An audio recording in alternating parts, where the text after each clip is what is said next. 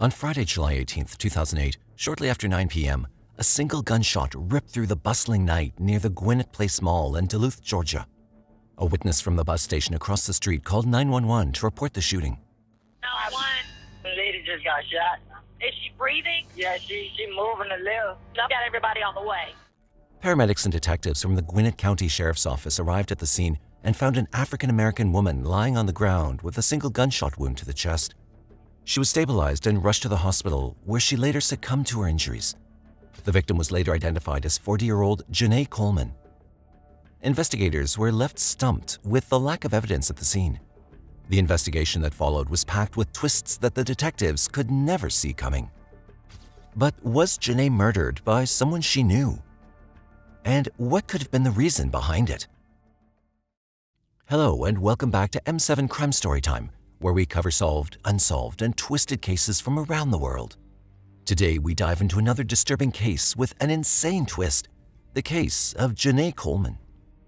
But before we delve any further, please take the time to show your support by subscribing to our channel, liking our videos, and clicking on that notification bell to receive the latest videos straight to your inbox. Without further delay, let's dive into another crime mystery.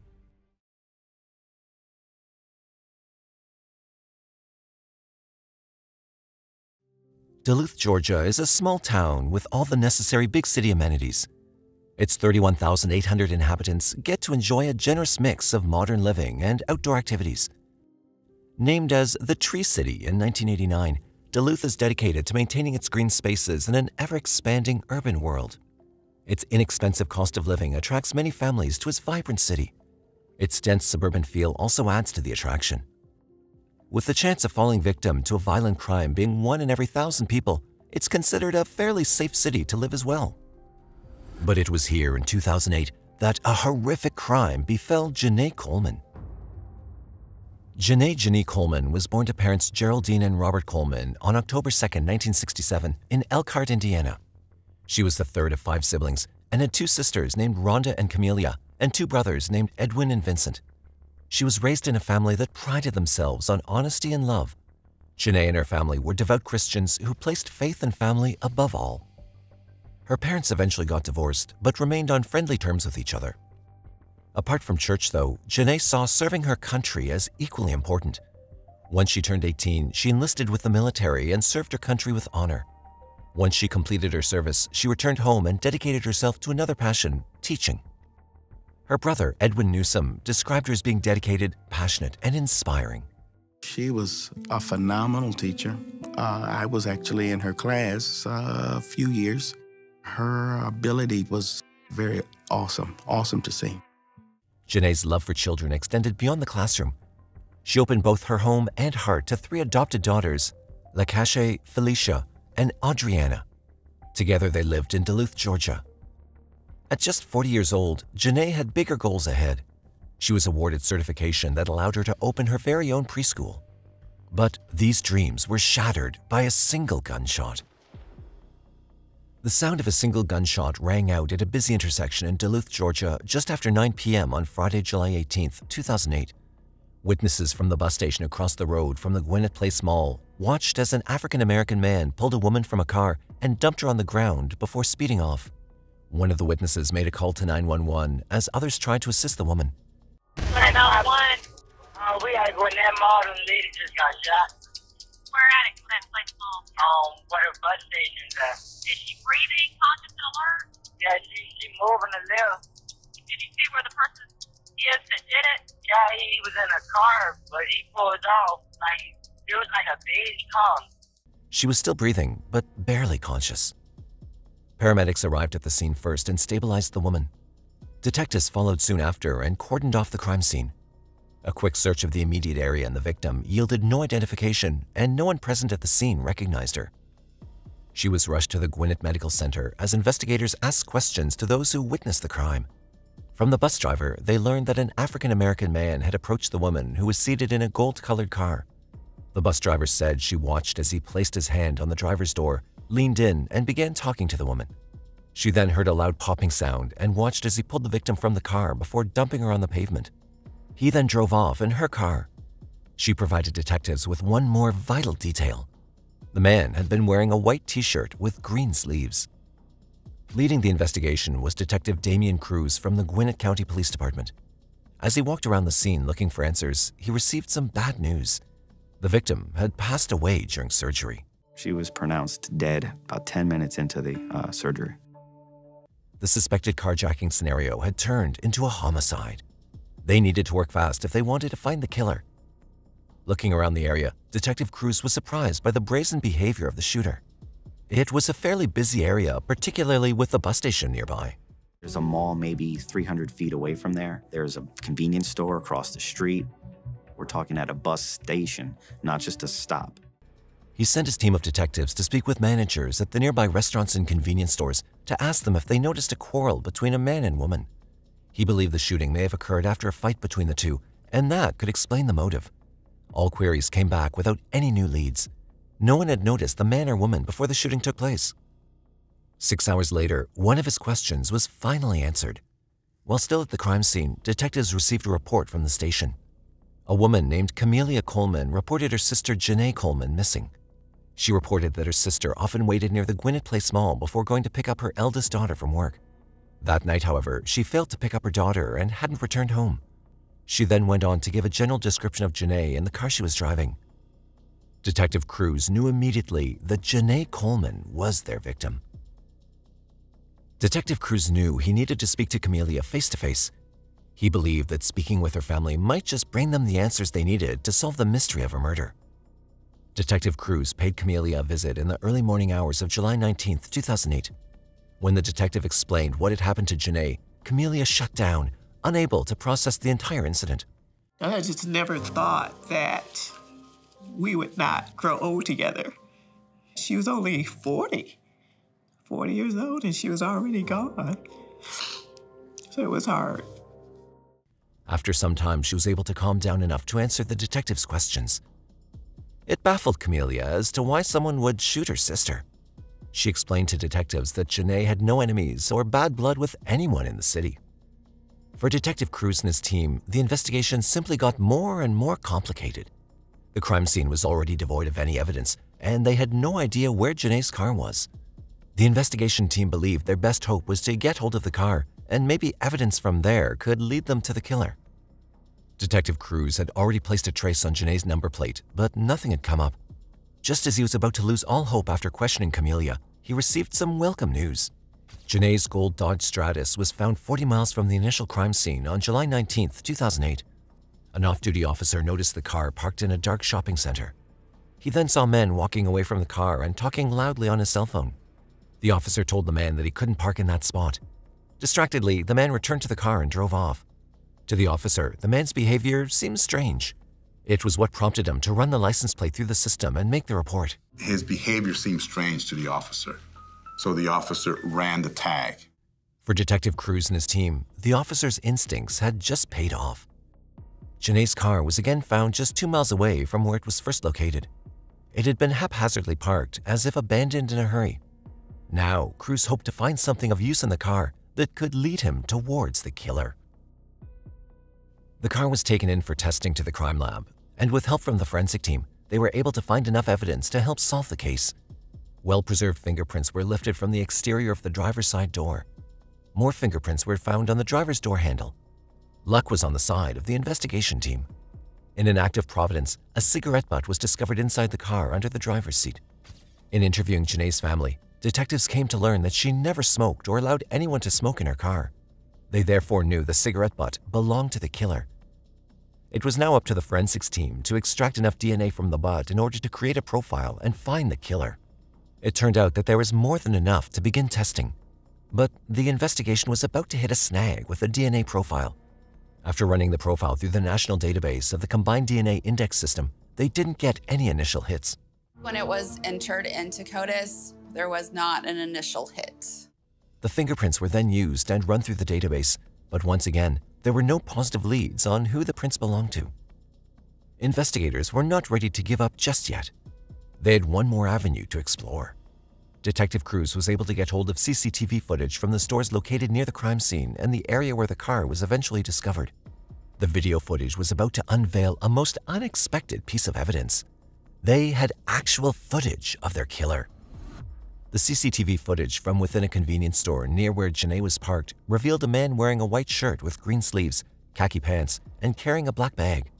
This was the same shirt the bus driver described the shooter as wearing that night. It showed the man walking into the store two hours prior to the shooting. He was seen buying two cans of beer. Most notably, though, was another piece of evidence from the store's camera footage. Detectives watched as the man bought a pack of cigarettes. They were able to hear him ask the store clerk for a pack of Bronson Light Longs, the very same brand of cigarette butt found in Genai's car. Welcome back.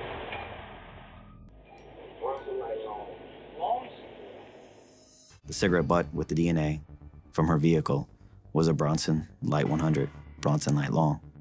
He was also caught on camera in the same area where Genai's car was abandoned. For detectives, this was the ultimate evidence. They now had actual video of the man who had pulled the trigger and killed Genai with no remorse. Using this footage, investigators turned to the media and public to help in identifying the man caught on camera. A news special was broadcast throughout the Georgia area. The results were not what investigators expected. No one came forward with any tips regarding the man in the video footage. For once, investigators had everything they needed fingerprints, DNA evidence, eyewitnesses, and actual video footage of the man they believed was responsible for Genai's murder. Without a name or new leads, the man in the video had become a phantom. Genai's case was quickly turning cold, but Detective Cruz was determined to solve the case for the victim, Genai and her family. Just over a year after Genai's murder, the CODIS system came back with a positive hit. It was a welcome result, despite how long it had taken. The DNA belonged to a man named Donald Eugene Smith, a 51-year-old man with a lengthy criminal record.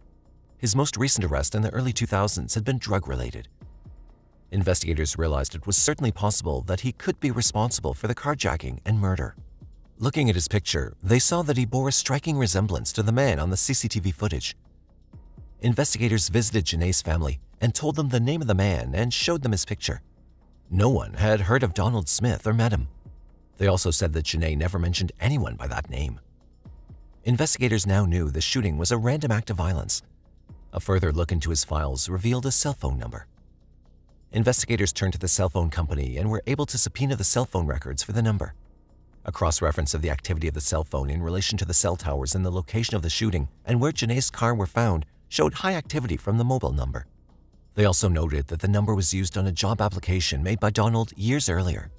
Speaking with the manager of the company, he also confirmed that Donald was the same man in the photo and the video footage. This, together with the DNA evidence and video footage, was more than enough for detectives to make the arrest. On February 3, 2010, Donald Smith was arrested at a homeless shelter in Georgia. Detective Cruz immediately notified Genai's family, who were relieved to hear the news. We were relieved, very much relieved. It was the beginning of closure. Investigators prepared to sit down with Donald and get the answers they needed. The case, though, was about to take a very strange and unexpected twist. Investigators questioned Donald extensively about his involvement in the shooting of Genai Coleman. He denied having ever met her or stealing her car. Really, it's, it's about this vehicle, okay? I'm gonna ask you questions. Have you ever seen this vehicle before or been in it? No, I have not. Have you ever met this woman before in your life? No, I haven't. Investigators then pushed for an explanation as to how his DNA was found in Genai's car if he wasn't the person who shot her. That vehicle you said you've never seen before, and the woman you've never seen before, Yes. okay? Your DNA ended up in that car. That's interesting because my DNA couldn't have been in that car because I've never been in that car. Donald was then shown video from the convenience store CCTV footage, to which he denied ever being there. I have a, a picture basically on a computer. I want you to look at it and let me know if you recognize it as yourself or not, okay? Sure. This is the day I'm talking about. When I came. Oh, was it with this guy right here? Yeah. You're saying that's not me? That is definitely not me. I don't have a shirt like that. I don't have, I don't, I don't can't see the face of the person, but that's not me. He went on to say that it was hard to even recognize the face of the person. Donald also told police he did not own a shirt like that. When questioned about the phone number, Donald provided an explanation. And then your cell phone number at the time was 404 200. Correct? No, that was not mine. That was my brother's phone number. Investigators were getting nowhere with the questioning as Donald continued to deny his involvement. He was asked by detectives to take a polygraph test to determine if he was being truthful with his answers. The test results did not favor Donald. The results showed that he was being deceptive with his answers. When asked if he'd known Genai Coleman, his answer showed some level of truth. But when asked if he recognized the person in the video, it showed deception. In polygraph terms, he was being deceptive, and that's what they determined. There's certain important questions they asked. Do you know Genai Coleman? Did you shoot her? But they also asked, Do you recognize the person on the video we've shown you? He failed it miserably. Following the polygraph test, Donald seemed shaken according to investigators. He was allowed to take a cigarette break. Detective Cruz decided to follow him to the break area and took note of the cigarette brand he smoked. What he saw created doubt in his mind. Donald smoked a brand of cigarettes called Aqua Blues that required being hand rolled. They were not Bronson Light Longs. After the break, he returned to the room. Donald spoke calmly and explained a scientific theory that was about to blow the entire case wide open. DNA is split between 10 twins. It's indistinguishable. They, they share DNA, identical twins. Uh,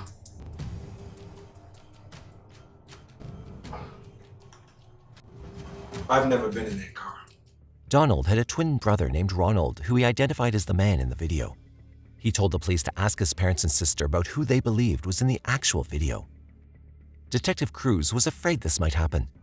After reading Donald's file, he knew that Donald was one half of a set of twins. He was also aware that identical twins shared DNA. Their entire case hinged on whether they arrested the right twin. It was a scramble to reevaluate everything they knew about the case. Just as the case seemed to be falling apart at the seams, investigators remembered they had a final piece of scientific evidence fingerprints. Although DNA is similar in identical twins, fingerprints are never the same in any two people. Identical twins may have the same DNA, but they do not have the same fingerprints. Nobody has the same fingerprints. Investigators tried to make contact with Ronald Smith, but he initially refused to voluntarily go down to the station for questioning. Once again, they turned to the cell phone network provider to find their suspect. He was discovered to be hiding out in his family home. His parents and sister were unaware of the crime he committed in 2008. Upon the request of Donald, investigators showed his family the CCTV footage. All three agreed that the person was in fact Ronald and not Donald, based on his walk and style of dressing. Ronald was arrested on February 5, 2010, and taken to the station where he was questioned about Genai Coleman and the evening of the shooting. Donald, however, had not been released as investigators did not want to take any chances in case they were playing a game. Several things had somehow started to paint a clearer picture. The cell phone used by Ronald was the very same used by the killer at both crime scenes. The cigarettes that Ronald smoked were the same found in Genai's car. And finally, the fingerprints found on the car were a perfect match to Ronald Smith. Ronald Smith's print matches the print that was recovered from the car. Now, all they needed was a confession. First, detectives began by presenting the evidence they had on Ronald. This is it. After we conclude here in the next few minutes, you'll be taken over to the county jail. And the next time that you see Detective Cruz will be in the preliminary hearing. He will present everything he has on the case, which is overwhelming. I mean, video, DNA, prints, phone records. When that didn't work, they tried the emotional approach and asked him why he'd shot Genai Coleman. This is the woman. Okay. Her name was Genai. Okay. She had three adopted children. She was a school teacher. Her family, uh, they're very religious people. And they just, they weren't even, they were more just wanted to know why than anger. And I promised them I would at least ask. I can't, I can't, I can't, I can't, I can't. I swear I just can't say right now. Okay. Ronald became visibly upset and started to feel overwhelmed. He asked for a break. Like all of a sudden.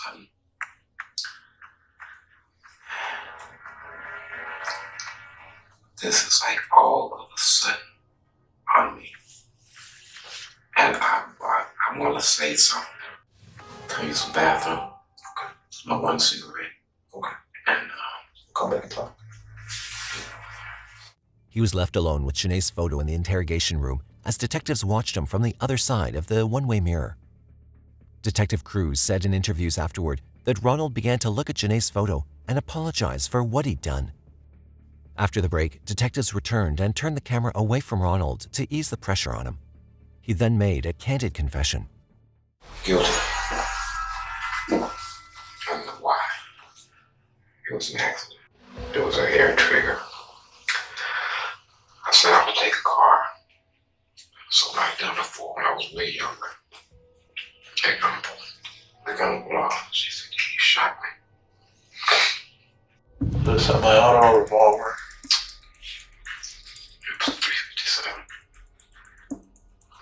Five shots. And then I went something before I ended up doing something stupid again. I took the car down to uh, the Forest Park, park there. No. You know, her family, this was something they really wanted to know as far as closure. Okay? You can tell them that taking someone's life was not in the mix. It, it, it was no part of the picture. You can tell them it was a stupid accident. Well, thank you. I know that was difficult for you. But I thank you. Ronald was arrested for Genai Coleman's murder on February 6, 2010. He was detained at the Gwinnett County Jail without bond. I mean, wow. What a relief it was that they finally caught him. Investigators were able to gather more evidence of a confession when he made a call to a childhood friend from within the jail. On the call, which was recorded, Ronald told the childhood friend, among other things, that someone had died about a year and a half ago at his hands. Although the call could not be used as evidence, for investigators, it gave them hope that they finally caught their killer. His twin brother Donald was released and allowed to return to his family without any charges. With Ronald's confession, detectives and prosecutors had everything they needed to move forward with the case. They worked hard to prepare an airtight argument that would ensure Genai's killer went away for a very long time. Jury selection for the trial took place on Monday, October 22, 2012, with Ronald's trial beginning that same week. The family of both the victim, Genai, and the suspect, Ronald, were in attendance. The jury heard testimony from experts and the theories based on what investigators found at the crime scene and in the car.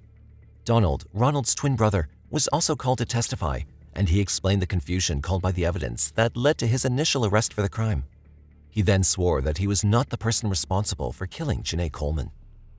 Ronald was about to add another twist to the case. He saw this as an opportunity to turn the case in his favor. Ronald reversed his confession and placed all the blame on his twin, Donald. He alleged that his brother committed the crime. That was like the monkey wrench that was thrown into the whole case. How are they going to prove that one brother didn't do it over the other brother? What's going to happen, and how is this going to play out? When experts explained that the fingerprints did not lie, Ronald said that his fingerprints were on the car because he helped wipe the car clean but forgot to remove his prints from the driver's door. On Friday, October 26, 2012, the jury deliberated for two hours before returning to court with a decision. They found Ronald Smith guilty of carjacking and the murder of Genai Coleman. His brother Donald Smith was cleared of all suspicion. Ronald was sentenced to life plus 25 years in prison by Superior Court Judge Melodie Snell Conner. To this day, he remains incarcerated at the Wheeler Correctional Facility in Alamo, Georgia. After the trial, Genai's family were able to find some closure after her tragic death at the hands of Ronald Smith. Her sister, Camelia Coleman, spoke to reporters after the sentencing and told them that the family's faith never waned as they knew the justice system would work. We prayed for a quick resolve and swift justice, and we've seen that happen, she said. Rather than focusing on hatred and revenge, Genai's family decided to honor her by fulfilling her lifelong dream. On July 13, 2015, the Genai Coleman Excellence Academy opened its doors to more than 100 children in Elkhart, Indiana, just days before the seventh anniversary of her death. She is still building dreams, building hopes. Genai, your dream's living on. For her mother, Geraldine Brown, it was both a moment of pain and pride. In an interview, she said that she felt pride at finally realizing Genai's dream despite the pain, and being able to honor Genai this way was ultimately the goal. because of what she stood for. She stood for what was right. She stood for encouragement and improvement in the lives of, of young people. Geraldine described the school as being a legacy of love, and it was a way Genai was still accomplishing her dreams by building hope for the children in their community. Had it not been for the fingerprints found on the car door, there was a strong possibility that the wrong man could have been convicted for a crime he never committed.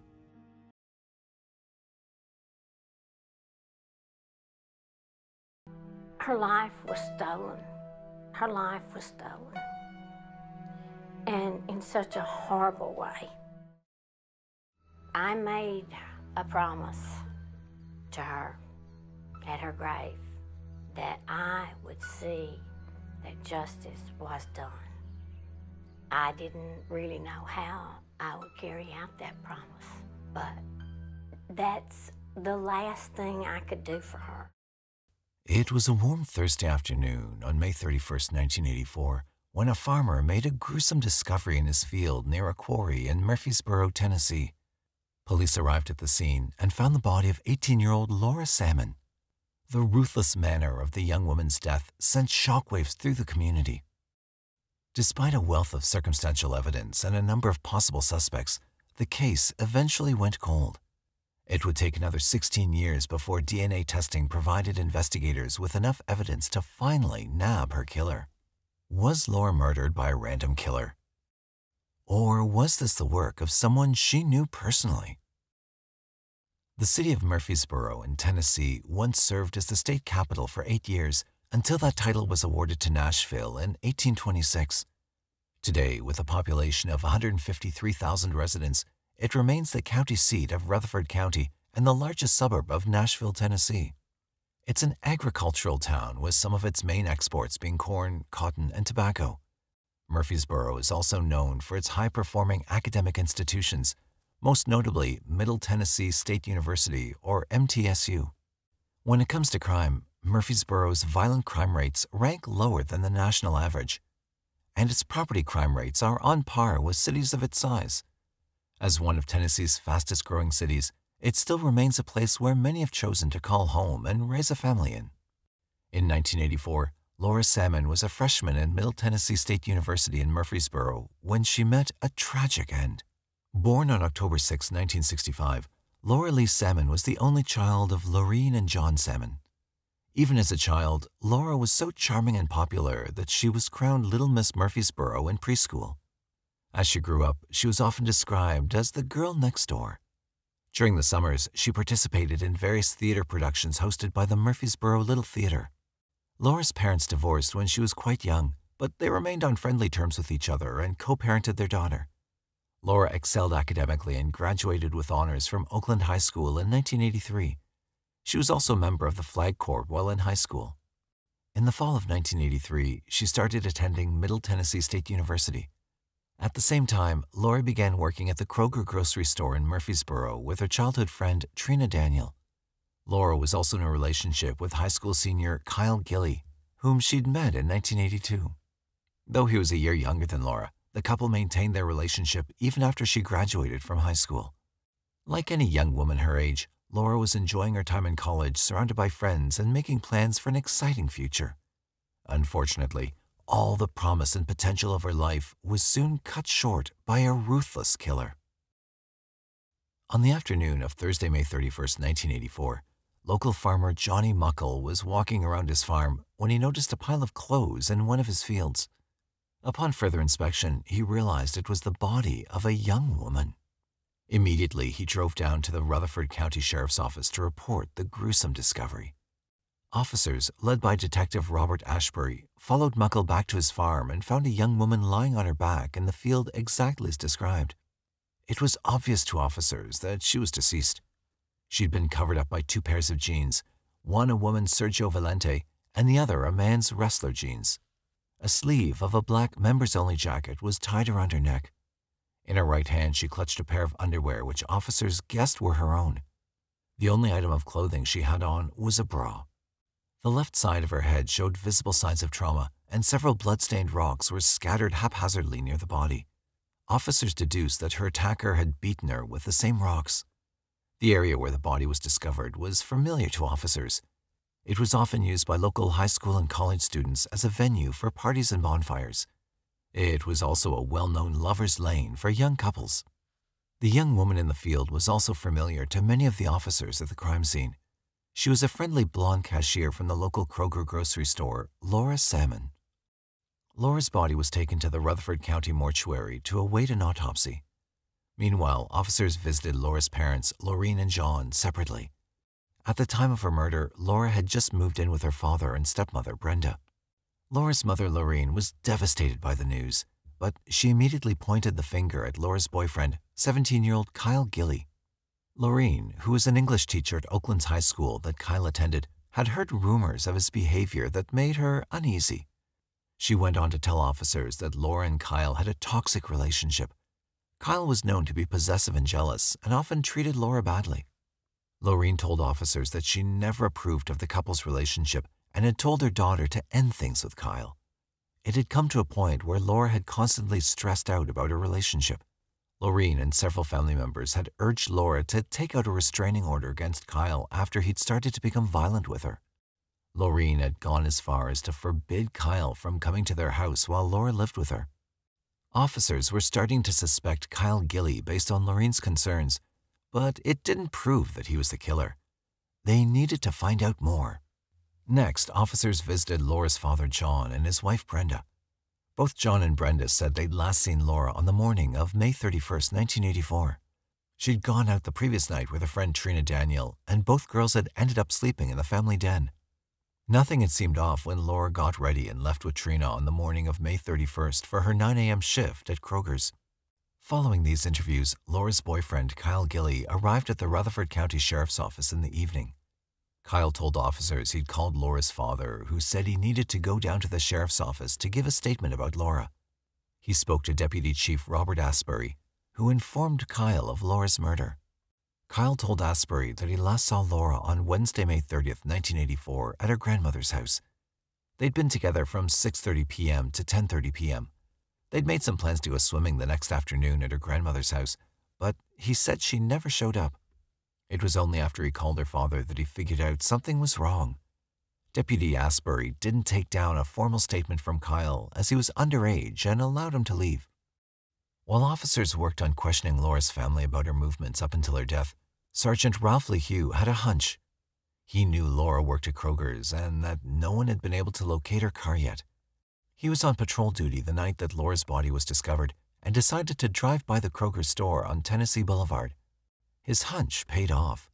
At 12:40 a.m. on June 1, 1984, he found a two-toned beige 1976 Oldsmobile Cutlass Salon in the Kroger parking lot.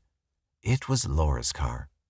The car, along with soil samples and the evidence discovered at the crime scene, was sent to the Tennessee Bureau of Investigation, or TBI, for testing. As investigators waited for the results, they worked on building a timeline of events leading to Laura's murder. They visited the Kroger store to speak with Trina Daniels, Laura's best friend. Trina told officers that Laura had picked her up from work at 11 p.m. on Wednesday, May 30th, 1984. They then went to a nightclub in Nashville and returned to Laura's father's house at around 3:30 a.m. The next morning, on May 31st, Trina had taken a lift with Laura to the store. While Laura began her shift at 9 a.m., Trina had made her way to her own home because she was working a later shift. Trina told officers that when she arrived at work shortly after 1 p.m. that day, she didn't see Laura's car at the usual spot. However, sometime between 3 p.m. and 3:30 p.m., while helping a customer carry out groceries, she'd seen Laura's car parked in a different spot. Investigators then questioned Sybil Waite, who was Laura's supervisor, and Sharon Falk, who had worked the morning shift with Laura the day she died. Both women confirmed that Laura had left early to go swimming at her grandmother's house. During the course of these interviews, more details emerged about Laura and Kyle's troubled relationship. Sharon told investigators that she'd once advised Laura to seek help after noticing black and blue bruising on her face. Trina added that Laura had confided in her about dating other men while at university and begged her to keep it a secret. Laura was afraid of Kyle's reaction if he found out. This information added a new surprise and shocking complication to the investigation. Although Kyle seemed like the most likely suspect, the fact that Laura was dating freely meant that anyone could be a suspect at this point. On June 2, 1984, Tennessee State Medical Examiner Dr. Charles Harlan performed Laura's autopsy. In his report, he determined that Laura had died due to blunt force trauma to her head, possibly caused by a heavy rock. She'd received a total of 10 blows to different parts of her head, resulting in a spiderweb pattern of skull fractures, as cold case detective Dan Goodwin explained in a television interview. Her left eye had also been discolored, which Dr. Harlan determined was the result of a fist to her face. Dr. Harlan also examined Laura for signs of assault. He deduced that Laura had been intimate with a partner 24 to 48 hours prior to her death. The act was determined to be consensual and not forced, as pointed out by the District Attorney General in a televised documentary. Interestingly enough, the biological sample taken from Laura did not match with the sample found on the men's rustler's jeans from the crime scene. The Tennessee Bureau of Investigation partnered with the Federal Bureau of Investigation to test Laura's car. There were no fingerprints in the car, not even Laura's. This led investigators to believe that the killer had wiped down the vehicle carefully. What they did find was a single foreign hair that they kept for testing. Through microscopic analysis, the dirt found on the mats inside the car and the fender matched the mud on the road located near the crime scene. On Monday, June 4, 1984, Laura was laid to rest at the Coleman Cemetery in Murfreesboro, Tennessee. The funeral was attended by close friends and family who paid tribute to the bubbly young woman they remembered. Also present at the funeral was Laura's close friend from university, Dan Goodwin, who'd been to the movies with Laura just four days before her death. Goodwin promised Laura's mother, Laureen, that he would find her killer no matter how long it took. Laureen, too, made that promise to her deceased daughter. I made a promise to her at her grave that I would see that justice was done. I didn't really know how I would carry out that promise, but that's the last thing I could do for her. Investigators worked through their notes they'd collected over the course of several interviews with Laura's family members and friends. By this time, investigators felt strongly that Kyle might know more than he was telling them. On June 6, 1984, 17 year old Kyle was summoned to the Rutherford County Sheriff's Office for an interview. Kyle, being underage, was accompanied by a stepfather during the questioning. Kyle was read his Miranda rights before investigators took a formal statement from him. He told investigators that he'd met Laura at around 6:30 p.m. on Wednesday, May 30th, 1984, at her grandmother's house. At around 9 p.m., the two of them had left in his car and driven to Bellwood Church in Murfreesboro. Kyle explained that he parked his car behind the church before being intimate with Laura. Afterwards, he dropped her back at her grandmother's house. Kyle told investigators that he drove off to work a night shift and assumed Laura had driven back to her father's house. He returned from work at around 7 a.m. on May 31st and went to sleep. Kyle told detectives he didn't wake up until 3 or 4 p.m. His statement was backed up by Kyle's stepfather, who told investigators that he'd seen Kyle sleeping when he came home from work around 3 p.m. The stepfather added that the only time Kyle left home was when Laura's father, John Salmon, told him something had happened to Laura and he needed to go to the sheriff's office. Investigators were still suspicious of Kyle because he was the only one with a strong motive. But so far, his story and alibi had checked out. A month later, in July 1984, TBI agent Tom Carmouche decided to interview Kyle again. Kyle told Agent Carmouche that he'd been to Florida until May 29, 1984. He then repeated the story he told investigators during his June interview. This time, however, he added a new detail. He told Carmouche that after he and Laura had been intimate, they cleaned themselves up using an old pair of his jeans. Yet Kyle denied being involved in Laura's murder, and his stepfather's alibi helped solidify his claims. Without enough evidence to link Kyle to the murder, he was released, much to the disappointment of Laura's mother, Laureen. But investigators were about to find another lead in the case. While putting together a timeline of Laura's movements, investigators received a call from a woman in Nashville, Tennessee. The woman, who wanted to remain anonymous, alleged that she'd been assaulted by a man named John Taylor. The woman claimed that Taylor had threatened that if she didn't keep quiet, he'd do the same thing to her as he'd done to Laura Salmon. This unexpected lead turned the investigation in a different direction. Investigators ran a background check on John Taylor and discovered some interesting information. He attended Middle Tennessee State University and was a member of the same gym as Laura. Taylor also frequented the same fraternity parties Laura attended. investigators then questioned people who knew Taylor and discovered that he had a history of violence against former girlfriends. They also learned that Taylor was seen near the MTSU campus on the day Laura was murdered. Taylor was called in for questioning by investigators, but he denied assaulting the woman from Nashville. He also denied being involved in Laura's murder or having mentioned the incident to anyone. To rule him out as a suspect, Taylor was asked to submit a hair sample to compare against the strand found in Laura's car. FBI forensic chemist Patty Choater compared the samples. Although both hair strands were consistent, DNA testing of hair was still years away from making a definitive match. Investigators could not charge Taylor without strong evidence. The next step was to compare the man's jeans found at the crime scene with the jeans used by Taylor. The jeans retrieved from the crime scene had a waist size of 30 inches and an inseam of 36 inches, but these measurements were way too long for Taylor to use on a daily basis. With no strong evidence, investigators released Taylor and ruled him out as a suspect in Laura's murder.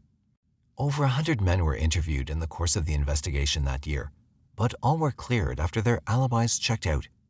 Whoever killed Laura Salmon seemed to have simply vanished into thin air. With no new leads, Laura's case started to grow cold by the end of 1985. However, years later, when new investigators looked over the cold case files, several issues started to emerge. The new investigators discovered that the crime scene had not been properly secured and that evidence had been handled without the use of gloves. It was noted that John Salmon, Laura's father, was the person who found her necklace at the crime scene and discovered more rocks covered in blood. He'd handed these items to investigators, possibly compromising the evidence due to faulty handling.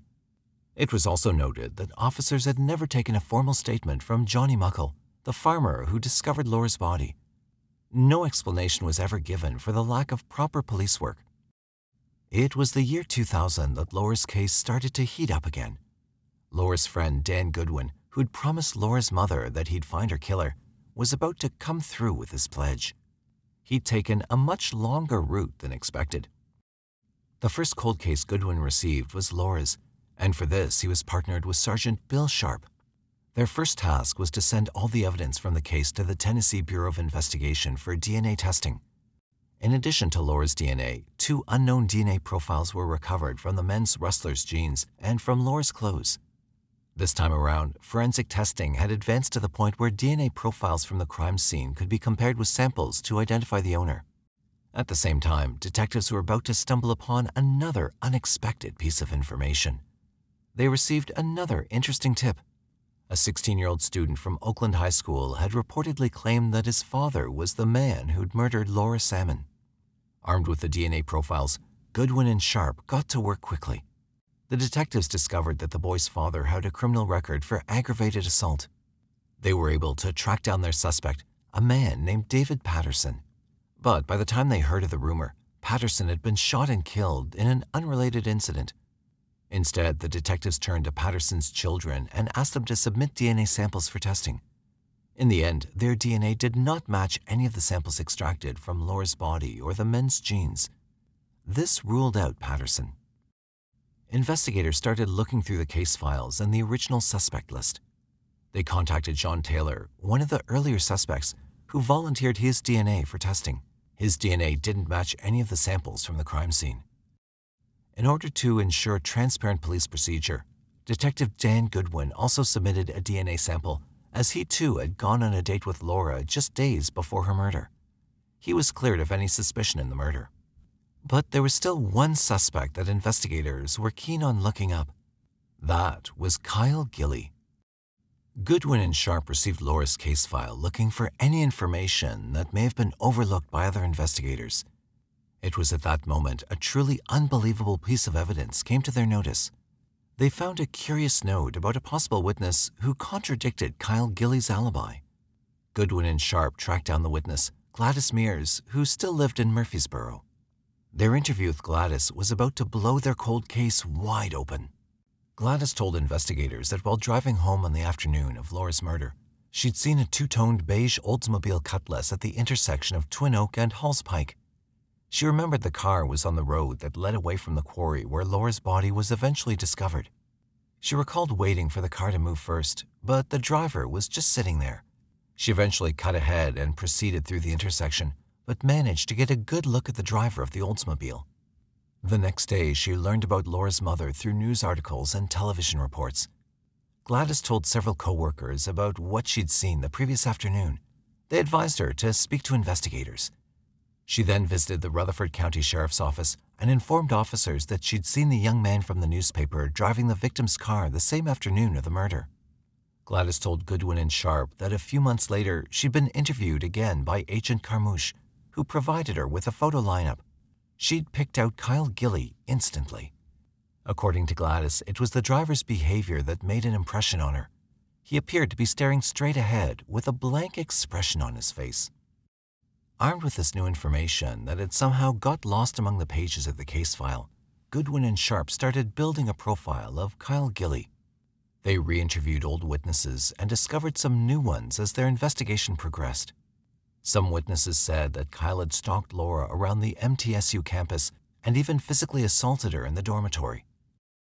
The detectives also learned that Kyle had exhibited strange behavior after Laura's death.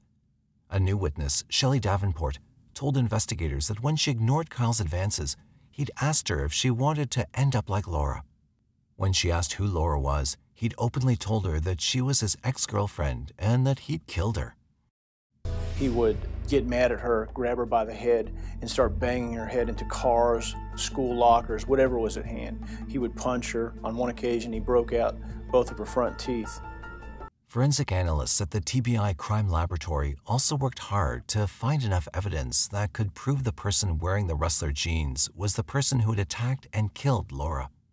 The blood on the jeans was tested against Laura's DNA and came back as a positive match.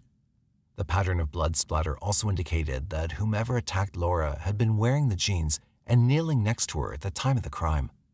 It also indicated that a blunt instrument like a rock was likely used because the blows had not generated much force. All analysts needed now was to find a match to the biological material found on the jeans. Goodwin and Sharp focused on tracking down Kyle, who had relocated to Florida in 1986. On May 9, 2000, the detectives made contact with Sergeant Rich Gerken at the Manatee County Sheriff's Office in Florida. Gerken reviewed the background information on Laura's case before calling Kyle in for an interview. Once again, Kyle denied having anything to do with Laura's murder and even denied being intimate with her before her death. Kyle was served a warrant for his blood sample, which was sent off to the TBI forensic lab for testing. On May 31, 2000, the 16th anniversary of Laura Salmon's death, the DNA sample of Kyle Gilley positively matched the biological sample found on the Rustler jeans at the crime scene. It linked Kyle to the crime scene and proved that he was most likely the person who had killed Laura. On November 13, 2001, Dan Goodwin flew to Florida to interview Kyle. From the outset, Kyle denied being violent to Laura or visiting her on the MTSU campus. He only admitted that the Rustler jeans may have been his. Goodwin knew Kyle was lying about everything. Goodwin himself had seen Kyle several times on campus with Laura he was able to get on record all the denials made by Kyle during their interview. When Goodwin told Kyle that he had an expert who could testify that Laura's killer had been wearing the very same pair of Rustler jeans, Kyle asked for an attorney, which subsequently ended the interview. Finally, on November 14, 2001, Kyle Gilley was arrested for the murder of Laura Salmon. Because Kyle had been under the age of 18 at the time of Laura's murder, he was arraigned in juvenile court instead of a criminal court. A hearing was held in 2002 to determine whether his case should be transferred to the Adult Circuit Court. On February 1, 2002, following several witness statements regarding the violent relationship between Laura and Kyle, juvenile court judge Donna Scott ruled that Kyle would be indicted as an adult. On March 6, 2002, a grand jury indicted Kyle of first degree murder charges. It would take another four years for Kyle's trial to begin as prosecution and defense attorneys argued back and forth over which witness testimony should be allowed in the final hearing. On July 26, 2006, Kyle Gilley's trial for the murder of Laura Salmon began in the Tennessee Court of Criminal Appeals. I'm telling you today that I am a mother who keeps her promises. I told them why I thought it was him I knew it was him. And I was very frustrated that they didn't take that seriously. The prosecution provided witness statements that proved Kyle had exhibited violent behavior towards Laura and often threatened her life. They also used forensic evidence and eyewitness statements to prove that Kyle had been present at the crime scene. According to the prosecution, Kyle had likely attacked Laura in a fit of rage and jealousy when she tried to end their relationship. Kyle's defense, however, tried to dispel their theories by stating that another unknown male DNA sample had been found on the victim. His defense team also highlighted the alibi provided by stepfather who had seen Kyle sleeping at home on the afternoon of Laura's murder. This alibi was backed up by Kyle's stepbrother, Michael Powell, who said he'd also seen Kyle sleeping in their home at the time of Laura's murder. But when Michael was cross examined by prosecutors, it emerged that he'd written a letter to Kyle in prison. Michael admitted that in the letter he promised Kyle he'd provide him with an alibi at the trial. In September 2006, Kyle Gilley was found guilty of first degree murder. According to the 1984 state sentencing laws, Kyle was sentenced to 30 years in prison. In 2008, Kyle appealed his conviction to the Court of Criminal Appeals. The court, however, upheld his original conviction. He'll be eligible for parole on September 25, 2042. It took over 20 years for Laura Salmon's family to finally see justice served on her behalf. When Kyle Gilley is eligible for his first parole hearing in September of 2042, I'll be 83 years old. But if I'm alive and if my partner Bill Sharp's alive, we'll be there to testify against releasing him. It took smart investigative work and technological advancements to piece together the puzzle that had plagued Rutherford County investigators for decades. How did the initial investigators not see through the lies of Kyle Gilley from the outset? And why did they ignore a witness statement that contradicted Kyle's alibi from way back in 1984?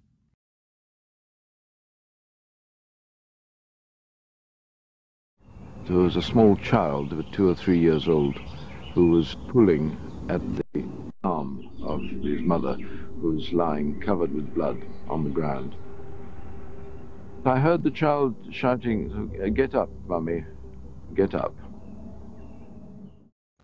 On the pleasant summer morning of July 15, 1992, a passerby came across a horrific sight in Wimbledon Common, southwest London. 23 year old Rachel Nickell was lying soaked in blood underneath a silver birch tree. Clinging to her side, her two year old son was desperately pleading for her to wake up. The incident sent shockwaves through the country leaving the community in fear and law enforcement with the daunting task of finding the perpetrator responsible for this atrocious act. But as the investigation progressed, mind boggling twists unfolded, taking everyone by surprise. With the investigation still underway, two compelling questions emerged. Who could harbor such deep seated animosity towards this innocent woman? Would the child's eyewitness account provide crucial evidence to bring the culprit to justice? Or would the trauma impede his ability to recall crucial details? Wimbledon, London, a place that captures the heart with its timeless charm. Nestled in the southwest of the bustling city, this enchanting district is known worldwide for its prestigious tennis tournament, but it offers so much more. As you wander through Wimbledon, you'll find an irresistible blend of history and modernity. With an array of Victorian style houses, the streets are also lined with charming boutiques, quaint cafes, and independent shops, each with its unique character. The soul of Wimbledon, however, can be found in its lush open spaces, where nature and urban life harmoniously coexist.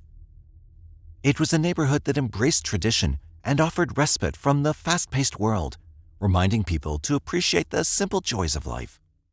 However, this place also carries a haunting chapter in its history, forever linked with the tragic 1992 murder of Rachel Nickell, an event that left an indelible mark on this otherwise peaceful neighborhood.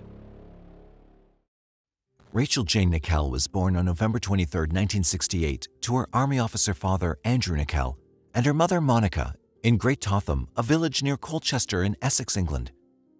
She possessed a naturally charitable spirit from a young age, displaying a genuine desire to assist the elderly and disabled children in her community. While attending Colchester High School for Girls, Rachel excelled in her studies. But she also shared a passion for dancing, singing, and acting. So, to hone her skills, at the young age of 11, she joined the Essex Dance Theatre.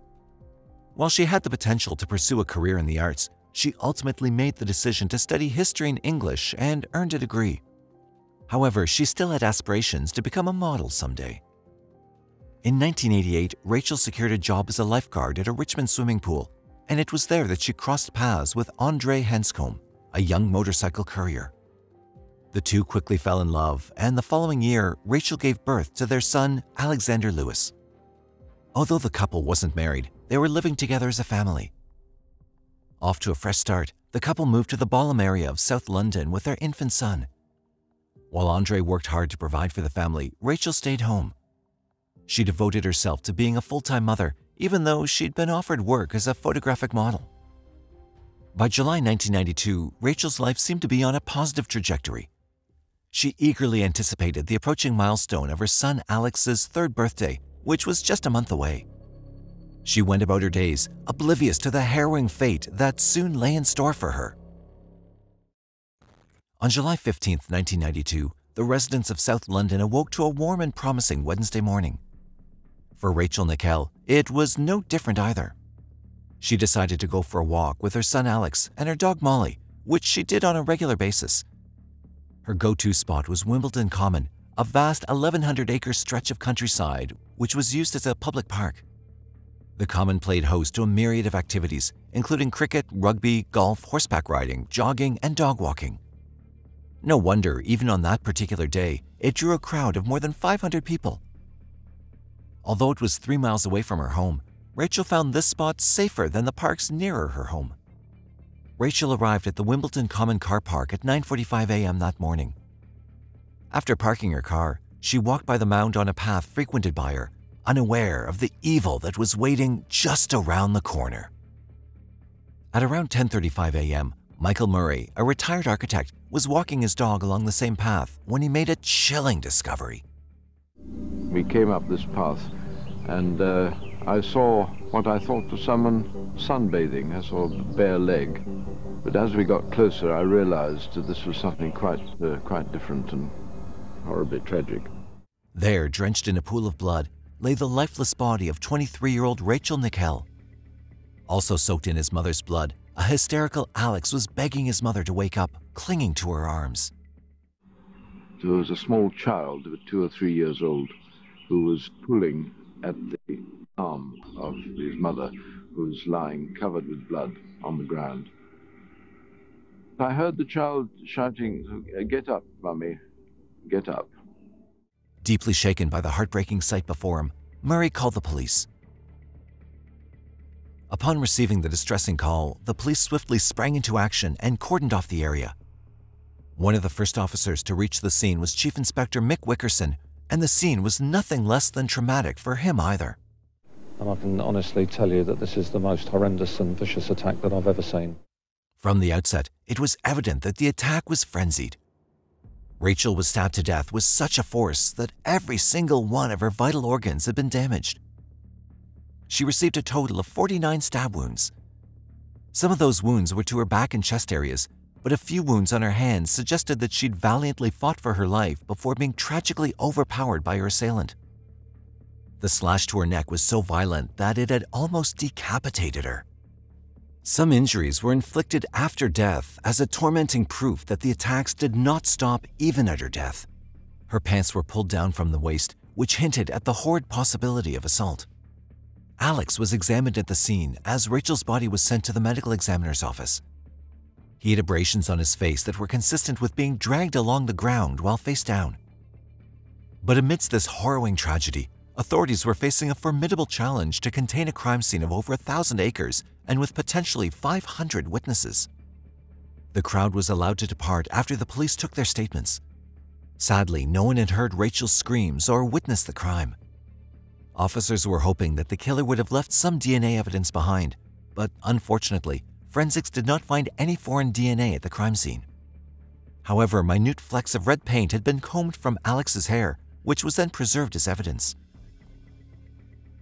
When Rachel's boyfriend, Andre Hanscombe, received the devastating news of her untimely death, his world was shattered. Despite his own grief, his fatherly instinct kicked in, and he knew that he had to be strong for his child. The boy was, however, in much worse condition, having witnessed his mother's death in front of his own eyes. In 90s London, it was the rarest of the rare incidences of such an attack taking place in broad daylight. So the news quickly spread, dominating headlines across the city. The incident left the community in a state of profound disbelief and horror. In the midst of all this, Andre made a heartfelt plea to the public to come forward with any information they had regarding the killer. I would say to anybody who does know this person, no matter how they feel about them, uh, please come forward before he destroys anybody else's life. Rachel's parents, Andrew and Monica, were vacationing in Canada when the tragic incident unfolded. It took four agonizing days for the heartbreaking truth to reach them. They knew they'd lost their daughter forever, and all they wanted was to know who was capable of committing such a cruel act. She can never be replaced in our lives. We can only try and slowly pick up the pieces. But our lives will always be less rich than when she was alive. The Metropolitan Police of London, on the other hand, were facing an appalling situation where they had neither any forensic evidence nor an eyewitness account. With this challenging scenario, the pressing question weighing on their minds was where would they begin? The appalling situation. We had no stranger's blood, we had no fibres, we had no hairs, we had no forensic evidence, we had no eyewitnesses. And the question that was uppermost in our minds is where on earth do we start? With no potential leads at hand, the team of detectives, led by Keith Pedder working on Rachel's case, had to investigate an array of suspects. They interviewed Rachel's family members, friends, and even local offenders, but to no avail. They all were looked at. Despite some very, very intensive inquiries in respect of some of those other suspects, there was no evidence to put them either at the scene of the common or to link them with Rachel's death. Now, investigators had only one hope Alex, Rachel's three year old son, and the sole eyewitness to the tragic murder. After the murder, Alex was taken to a child psychologist, Dr. Jean Harris Hendriks, who suggested that reliving his mother's death would be a harrowing experience for little Alex, and that the primary reason for the investigators to not approach him during the initial investigation. However, with no other viable options available, they found themselves compelled to reconsider the idea. With the presence of Dr. Harris Hendriks and Alex's father Andre, the police conducted several sessions with Alex, seeking to extract vital information that could shed light on the identity of his mother's killer. The sessions were emotional and traumatic, to say the least, as each day Alex demonstrated the horrific attack. But incredibly, over the course of a few days, Alex was able to provide a description of the killer. He revealed that the assailant was a Caucasian man with short hair. He was wearing a white collared and buttoned shirt with blue trousers and dark shoes. He was also carrying a black bag with him. Alex remembered how, on that fateful day, around 10:30 a.m. in the morning, when he was taking a stroll with his mother and their dog, the man suddenly appeared from nowhere. Before they could react to anything, he threw Alex to the ground and dragged him through the mud. Then he launched the fatal attack on Rachel, killing her in the process. Once the deed was done, he washed his hands in the nearby stream and quickly fled the scene.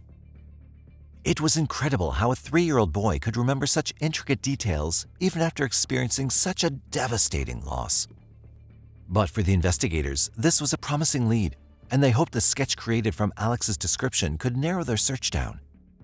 Scotland Yard, the headquarters of the Metropolitan Police Department, shared the picture with the media, appealing to the public for their assistance in providing further leads and information. Tonight, detectives are putting all their cards on the table and they're appealing for the whole nation's help. The man was in his 20s or 30s. He was tall, more than 5 feet 10, and had short brown hair. He had a white shirt with buttons and dark trousers, possibly blue, and was carrying a small, dark bag. Curiously, his belt was over his shirt rather than round his trousers. Or perhaps it was a dog lead. He seemed to bend forward slightly as he walked. Was he trying to hide his face? This seemed to be working as the police soon received a startling phone call. The call came from Jane Elizabeth Harriman, who reported seeing a man acting suspiciously on Wimbledon Common at around 10:10 a.m. on the day of the tragedy. The location of this encounter was only 5 minutes away from where the murder occurred. The man was described as being in his 20s or 30s, around 5 foot 10 inches tall, with short brown hair. The description closely matched a sketch of the suspect, who was wearing a white shirt, blue trousers, and carrying a dark bag. Interestingly, he was walking with a slight bend, as if attempting to hide his face. The man reappeared a few minutes later. Mrs. Harriman was concerned because she thought that he was following a woman. Eventually, the man went in the direction where Rachel Nickell's lifeless body was later discovered. Mrs. Harriman helped police build an artist's impression of the man, which closely resembled the description provided by Rachel's son. And he, he paused, and I sort of looked at him to smile, and he sort of, and he, he half smiled and turned his face away. He didn't look at me, he just turned his head away, and he seemed unsure of, of which way to go, and I didn't look back. And then I carried on walking past. Another woman, Amanda Phelan, noticed a suspicious-looking man washing his hands in a drainage ditch at 10:40 a.m., just 10 minutes after the murder was believed to have taken place. When police combed through the area, they came across a footprint. However, it yielded no further clues to the murder. In fact, investigators were not even sure if the print actually belonged to the killer or not. So instead, they chose to focus on the witness account. Amanda's description of the man bore a resemblance to Mrs. Harriman's artist impression sketch. Unfortunately, despite extensive efforts and a weeks-long search, no trace of the man matching the description was found. The investigation was at a standstill, but pressure was mounting on the authorities to solve the high-pressure murder case that had deeply affected the entire nation. So they took a radical approach. A month into the investigation, Scotland Yard turned to Paul Britton, a renowned criminal psychologist who is known for his work on profiling criminals, to provide his expertise. Britton, whose work inspired the television show Cracker, crafted two distinct profiles of Rachel's killer. The first profile painted a picture of a perpetrator in their 20s or 30s, taller than 5 foot 10, likely living alone and possibly residing in close proximity to the crime scene, the common. He would likely have been single or experienced failed relationships. The second profile delved into a more disturbing aspect, suggesting that the killer had an interest in the occult, a fascination with knives, and harbored sadistic fantasies. But the most unsettling revelation was his suggestion that the perpetrator might potentially strike again. With this new information in hand, the police launched a vast manhunt. As part of their investigation, they questioned more than 500 suspects in connection with the crime, of whom 32 were arrested but later released. Among them was Colin Stagg, a local man who found himself under scrutiny. The police believed that Colin Stagg resembled both the composite sketches created with the help of witnesses. Besides, multiple people saw him in the common on the morning of Rachel's murder. Even the offender profile provided by Paul Britton seemed to align with him. Colin lived alone in a flat near the Wimbledon Common. At the age of 29, he was unemployed and unmarried, just like Britton had suggested. In no time, he became the prime suspect. Intrigued by this potential lead, Detective Keith Pedder decided to conduct a search of Colin's apartment. Little did he know that the search would uncover startling evidence, introducing new twists to the case. In Colin's apartment, detectives found numerous occult items, including drawings, books, and scribbles. Detectives discovered Colin following an ancient pagan religion known as Wicca, which involves the worship of nature and the practice of magic rituals. The back bedroom had drawing of um, pagan deities on the walls. There was a pentagram um, marked out on the uh, the carpet. There was also a hooded black cowl uh, and habit in, in the wardrobe. Quite clearly, um, we were dealing with a, a very unusual individual. The discovery added another layer of complexity to the investigation. Once again, Britton's profile had been remarkably accurate. Following this discovery, Colin Stagg was arrested in connection with Rachel Nickell's murder and brought in for interrogation. Over the course of the next three days, Colin underwent intense questioning by the police. Investigators were desperate to discover anything that could implicate him in the murder, but it was easier said than done. So they focused their inquiries on key aspects, such as Colin's whereabouts on the day of the crime, his relationship with Rachel Nickell, and his knowledge of the events surrounding her tragic death. Colin stated that he had indeed taken his dogs for a short walk on Wimbledon Common between 8.15 and 9.15 a.m., asserting that he returned home more than an hour before Rachel was killed. While he insisted he never saw Rachel, he had another story of his own. He stated that on the common that day, he greeted a woman pushing a stroller with her baby in it. He claimed that he observed a menacing tall and broad man with short hair following her. Although the detectives could not find Colin's account entirely reliable, they still tried to verify his story. However, they couldn't find anyone who matched the description that Colin provided. We checked our database of witnesses and people who said they were on the common at the time, and we could find nobody who matched the descriptions that Colin had given us. Yet discrepancies to his statement were not limited to this. Colin's alibi was that he was back home by 9.15 in the morning, but one of his neighbors, Susan Gale, said she saw Colin making his way to the common between 9.25 and 9.30 wearing a white t-shirt, blue jeans, and a black bum bag. The description of his clothing had a strange similarity with the killer that Alex had described. As detectives delved deeper into Colin's life, they uncovered increasingly unsettling information. One notable discovery was a complaint made by a woman accusing Colin of exposing himself to her. This incident had occurred just a few months prior to Rachel's murder. When the police questioned Colin about the complaint, he claimed it was all a misunderstanding. According to Colin, he was sunbathing nude in a secluded area in Wimbledon Common, believing that nobody would come across him there. However, he was taken aback when the woman unexpectedly appeared. Colin emphasized that he had not intended to expose himself intentionally, and it was purely an unfortunate coincidence. This added weight to the already raised concerns about his behavior. Two days later, Colin Stagg was taken to the Brixton Police Department for an identity parade. There, Jane Harriman, the woman who had previously helped police with a composite sketch, positively identified Colin as the suspicious man she'd seen on the morning of July 15, 1992. Despite this unnerving affirmation, detectives had no concrete evidence to tie him to the murder. And with that, he was released from custody. He did, however, plead guilty to the indecent exposure charge and was fined £200 on September 21, 1992. With the media becoming aware of Colin's story, their interest in him grew significantly. Journalists sought to capture every aspect of his behavior and actions, as well as any public reactions he displayed, which included Colin's swift departure from the court while swearing at reporters. But in a sudden twist, this media attention brought a crucial lead to the investigators. They were contacted by a call from a woman identified only as Julie who had pertinent information to share. Julie shared that almost two years earlier, she placed an ad in the newspaper in the Lonely Hearts column. For those who don't know, a Lonely Hearts column is a specific space in the newspaper where people can advertise seeking a new lover or friend. Julie revealed that almost immediately after placing the ad, she got an explicit fantasy letter from Colin Stagg. However, Julie disclosed that she did not pursue any further interaction with him. This newfound lead sparked an audacious idea in the mind of the lead detective Keith Pedder, an undercover operation. It was named Operation Edsel. Through this undercover operation, detectives hoped to tap into Colin Stagg's innate fantasies as a potential strategy to elicit a confession. The intention was to create a scenario that would prompt Colin to reveal his involvement or provide incriminating information regarding Rachel's murder. If he did confess, it would serve as strong evidence against him. Even if he didn't confess despite the efforts made, it would potentially help rule him out as a suspect. They decided to utilize an undercover female officer to engage with Colin, leveraging his prior behavior and tendencies.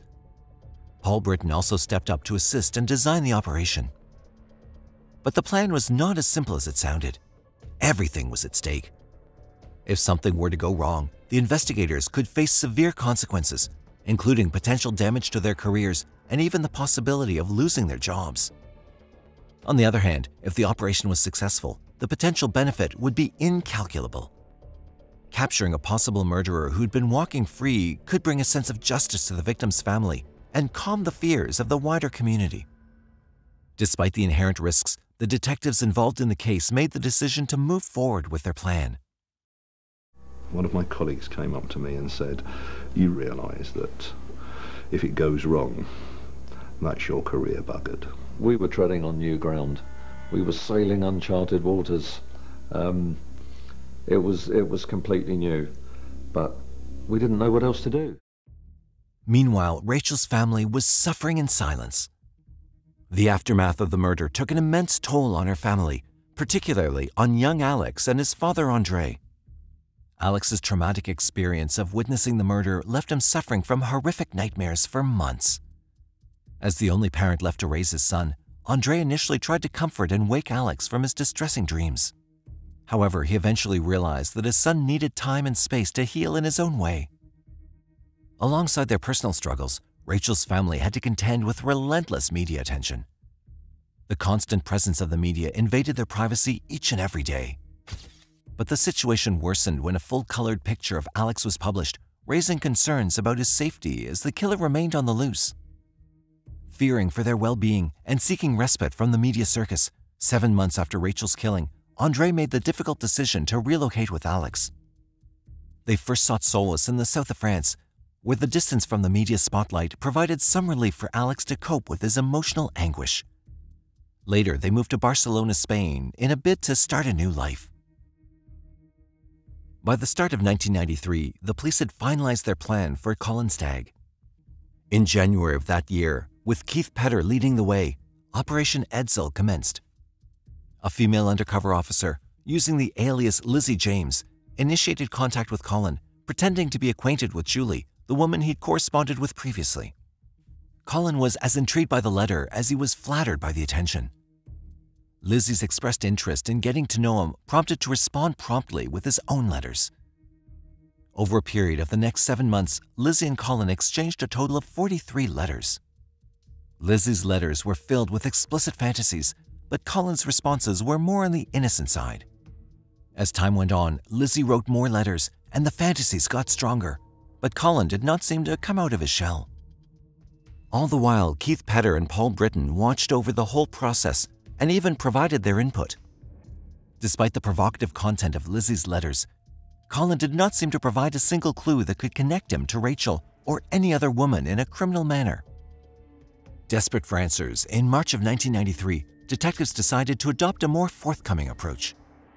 Lizzie started expressing in her letters that she enjoyed being humiliated and dominated by men during intimate moments. She further conveyed her desire for Colin to feel powerful and take control over her, somewhat trying to control his murderous instinct. This time, in his response, he'd acknowledged that he could hurt her if that would please her. But additionally, he conveyed that he was not a violent man, so he'd prefer a gentler way. Although up to this point investigators did not have any evidence to implicate him in any kind of crime, they were quite adamant that he was playing smart by not revealing his deepest desires. Otherwise, he wouldn't have entertained Lizzie this far. In May of 1993, Colin Stagg expressed his desire to meet Lizzie, the undercover officer, in person.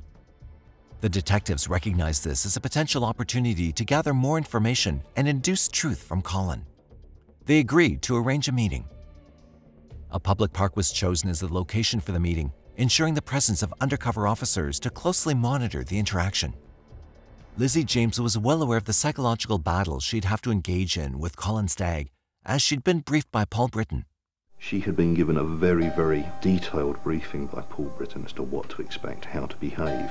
Not only had she got to play her part, she also had to stay as far as possible within the realms of what is accepted legally.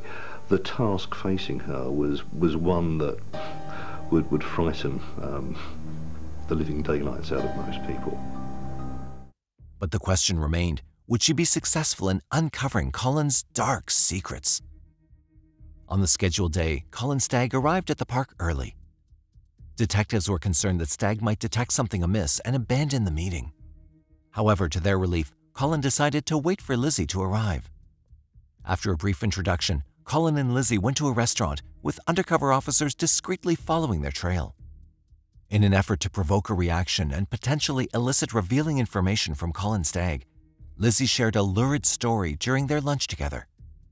She played her role as bait and disclosed personal details about herself, including a fabricated account of being involved in black magic and satanic rituals with a former boyfriend. She went on to claim that they'd participated in a disturbing human sacrifice involving a pregnant woman and a baby. Even then, Colin stayed guarded about his experiences. At the end of their lunch date, Colin handed Lizzie a letter, and the two went their separate ways with the promise of meeting again. Colin Stagg's lack of disclosure frustrated the detectives. They were on the verge of losing hope when an unexpected twist emerged from the darkness. The newest letter to Lizzie introduced a disturbing element to the story. In the letter, he talked about his disturbing fantasies, along with his desires for knives and blood. This was further proof to the investigators that they were on to the right man. The contents included a fantasy on Wimbledon Common, uh, which involved the use of a knife, of flesh, and the, the flowing of blood. Uh, and this was the first time that there had been any indication, uh, any mention of knives, or blood, or the use of any of those items for sexual gratification. In later correspondence, Lizzie continued to push his boundaries, saying that her preference was someone who was violent, referring to the Rachel Nickell case. Colin admitted to being on the common in the morning, but went no further than that. In the final attempts to obtain a confession, Lizzie persisted that she wished that Colin was responsible for the Wimbledon Common murder. However, Colin admitted that police had questioned him about Rachel's murder but maintained his innocence. The conversation was secretly taped. To tell you the truth, they think I did it even now.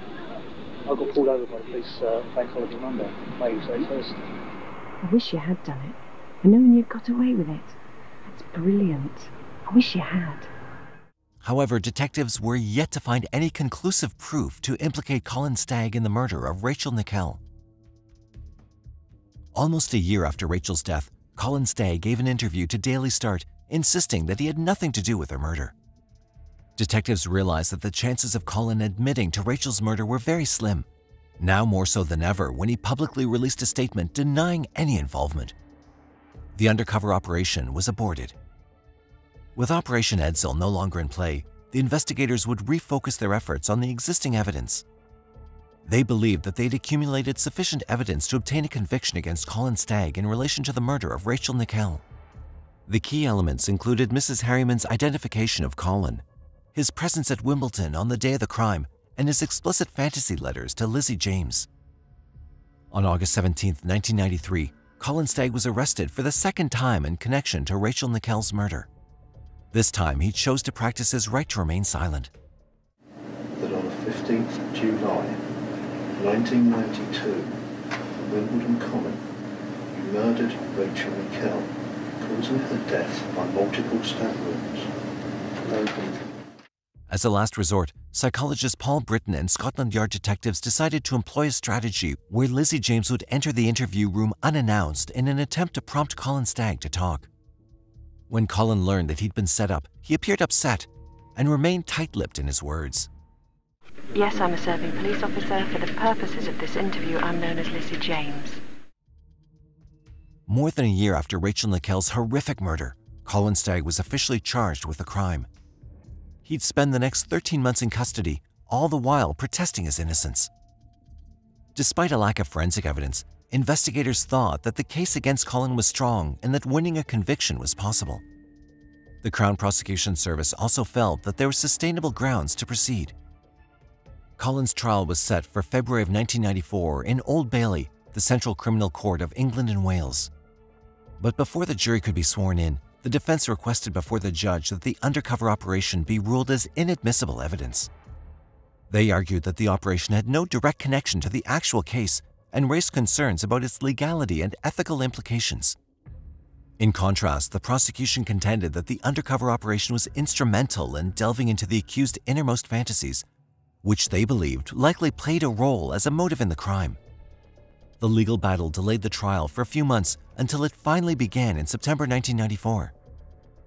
In a stunning twist, after several days of deliberation, Mr. Justice Ognall rejected the evidence presented by the prosecution, branding it as a honey trap. He heavily criticized the Metropolitan Police's handling of the case, particularly Operation Edsel. He even expressed concerns about the methods employed, stating that they went beyond what was legally acceptable. Therefore, due to a lack of evidence, Colin Stagg was acquitted. It was a significant setback for the Metropolitan Police and the prosecution. The investigation into the murder of Rachel Nickell spanned over two years and involved a substantial number of resources, including a collection of 4,500 statements and significant man hours dedicated to the case. The cost incurred during the investigation was reported to be over £3 million. It was the largest murder investigation in British history, which collapsed on the very first day of the trial. The acquittal of their prime suspect infuriated Scotland Yard. But it was nothing compared to the vehement reaction of the press and the public. Though Colin Stagg gained his freedom, outside of the courtroom, another trial awaited him. This trial by the media fueled the stigma about people's perception of him, which would continue to ruin his life for years to come.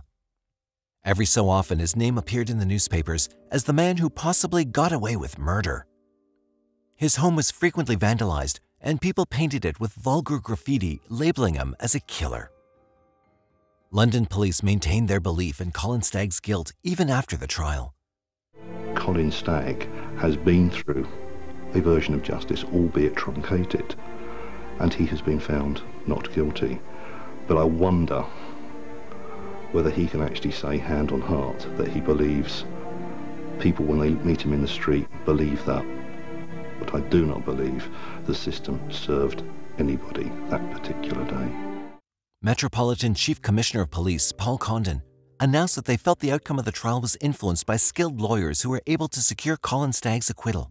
Thus, they'd not be looking for anyone else. The outcome was heartbreaking for Rachel's family. The law has been upheld, but where is the justice? I understand that the police will now keep the files on my daughter's murder open, but they are not looking for anyone else. Following this tiring ordeal, Scotland Yard too faced significant criticism. The criminal psychologist Paul Britton took the most heat. Although he later tried to claim that he had no knowledge about the fantasy letters, that fact had been disputed by many. The British Psychological Society even charged Britton with professional misconduct. However, due to delays in the case, it was eventually dismissed. Keith Pedder was not left behind either. His career was finished and he took early retirement from the police force. Lizzie James also followed the same path. After claiming to experience stress and mental breakdown due to the investigation, she too took early retirement from the police force and sued for damages. The case was settled out of court in 2001, resulting in a payment of £125,000 to Lizzie James. The payout also drew significant criticism, particularly because Rachel's son Alex had been granted £22,000 compensation, which was less than a fifth of the amount paid to the undercover detective. With a lack of leads to follow, Rachel Nickell's case went cold after this. Each year, however, on the anniversary of Rachel's death, there was mounting pressure on Scotland Yard to bring justice to the deceased mother. In 2002, 10 years after the murder of Rachel Nickell, Scotland Yard initiated a cold case review team to re-examine the case. The team consisted of a small group of officers and retired investigators who analyzed witness statements, reviewed files on potential suspects, and explored the possibility of connections between the case and other crimes. But they had another weapon up their sleeve, too. Over these 10 years, DNA testing had vastly improved, enabling investigators to obtain more reliable and conclusive results. It played a pivotal role in bringing perpetrators to justice. So naturally, the cold case review team also turned to advanced DNA technologies. For the next 18 months, forensic experts extensively examined and tested Rachel Nickell's clothing. Finally, in July 2003, a significant development occurred. Police discovered male DNA. Although the DNA sample was not sufficient to confirm the identity of the individual, it played a crucial role in eliminating any previous suspects who'd been under investigation. The sample did not match the DNA of Andre, Alex, or any of the investigators, indicating that it had most likely come from the killer. In a turn of events that defied all expectations and shattered long-held beliefs, the unforeseen twist in the investigation came with the revelation that the DNA evidence had also ruled out Colin Stagg as a suspect. After having been the center of intense scrutiny and suspicion, Colin suddenly found himself exonerated by scientific evidence. But this revelation meant that the investigation was thrust back to square one. However, it also widened the path for a fair investigation for the first time in years. It would be another year before the potential breakthrough in unraveling Rachel Nickell's killer emerged. In July of 2004, 12 years after Rachel Nickell's death, the DNA evidence finally linked the murder to a 38-year-old man, Robert Napper. Born on February 25, 1966, in Erith, southeast London, Robert Napper was the eldest child of his parents, Brian and Pauline Napper. He, alongside his two brothers and one sister, endured a dysfunctional childhood due to the deeply troubled relationship between his parents. His father, a bus conductor by profession, regularly abused his mother, Pauline, leading to their divorce when Napper was just nine years old. After they divorced, the children all went into foster care and underwent psychiatric treatment for six years at the Maudsley Hospital in Camberwell. During his stay there, Napper was diagnosed with Asperger's syndrome and paranoid schizophrenia. He seemed to be very frustrated with, um, with people and, and get into a lot of trouble. A child with Asperger's can have a very difficult time making friends and keeping friends and really knowing what's socially appropriate. These diagnoses likely contributed to his awkwardness at school. But his personality drastically changed when he was 12 or 13 after a family member assaulted him during a camping trip. As a result, he became incredibly shy and reclusive. But that didn't stop him from bullying his younger siblings and spying on his younger sister when she undressed. At 16, Napper left school and pursued a catering course along with a slew of menial jobs. His behavior became increasingly erratic with age. So much so that his mother threw him out of her house when he became 18 because she could no longer put up with him. Napper's criminal activities began in 1986 at the age of 20. He was arrested for carrying a loaded air gun and shooting small animals in the local woods. He was given a one-year conditional discharge.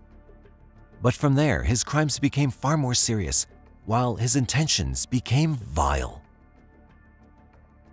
In August of 1989, he assaulted a 31-year-old woman at knife point in her Plumstead common home. In November, Napper's mother Pauline called the police and told them that her son had confessed to an assault. Unfortunately, the police didn't seem to take much interest in the call, as Napper wasn't linked to any attack and wasn't even questioned. At this point, Pauline had no other option but to break off all connection with her eldest son. From 1989 to 1992, Napper attacked numerous women and assaulted some of them. But he always stayed one step ahead of the law, or should we say, the authorities never bothered to look deeper. Even in August of 1992, when the police had twice been tipped off about him by neighbors. They asked him to give a blood sample both times, and both times he failed to turn up. Yet he was eliminated as a suspect due to a height discrepancy between the assailant and Robert Napper. In October of 1992, Robert Napper was arrested for stalking a civilian employee at the Plumstead police station, leading to a search of his apartment. During their search, they found a red toolbox which contained a 22 caliber pistol, two knives, a crossbow, and a cache of ammunition, along with several maps containing markings, notes on binding and restraining people, a diary filled with suspicious entries, and a fitness card belonging to a blonde woman. Even with a mountain of evidence, Robert Napper was only charged with firearm violations. What's worse, despite a psychiatric report clearly describing him as without a doubt an immediate threat to himself and the public, he was merely given an eight-week custodial sentence and no further inquiries regarding the search were pursued.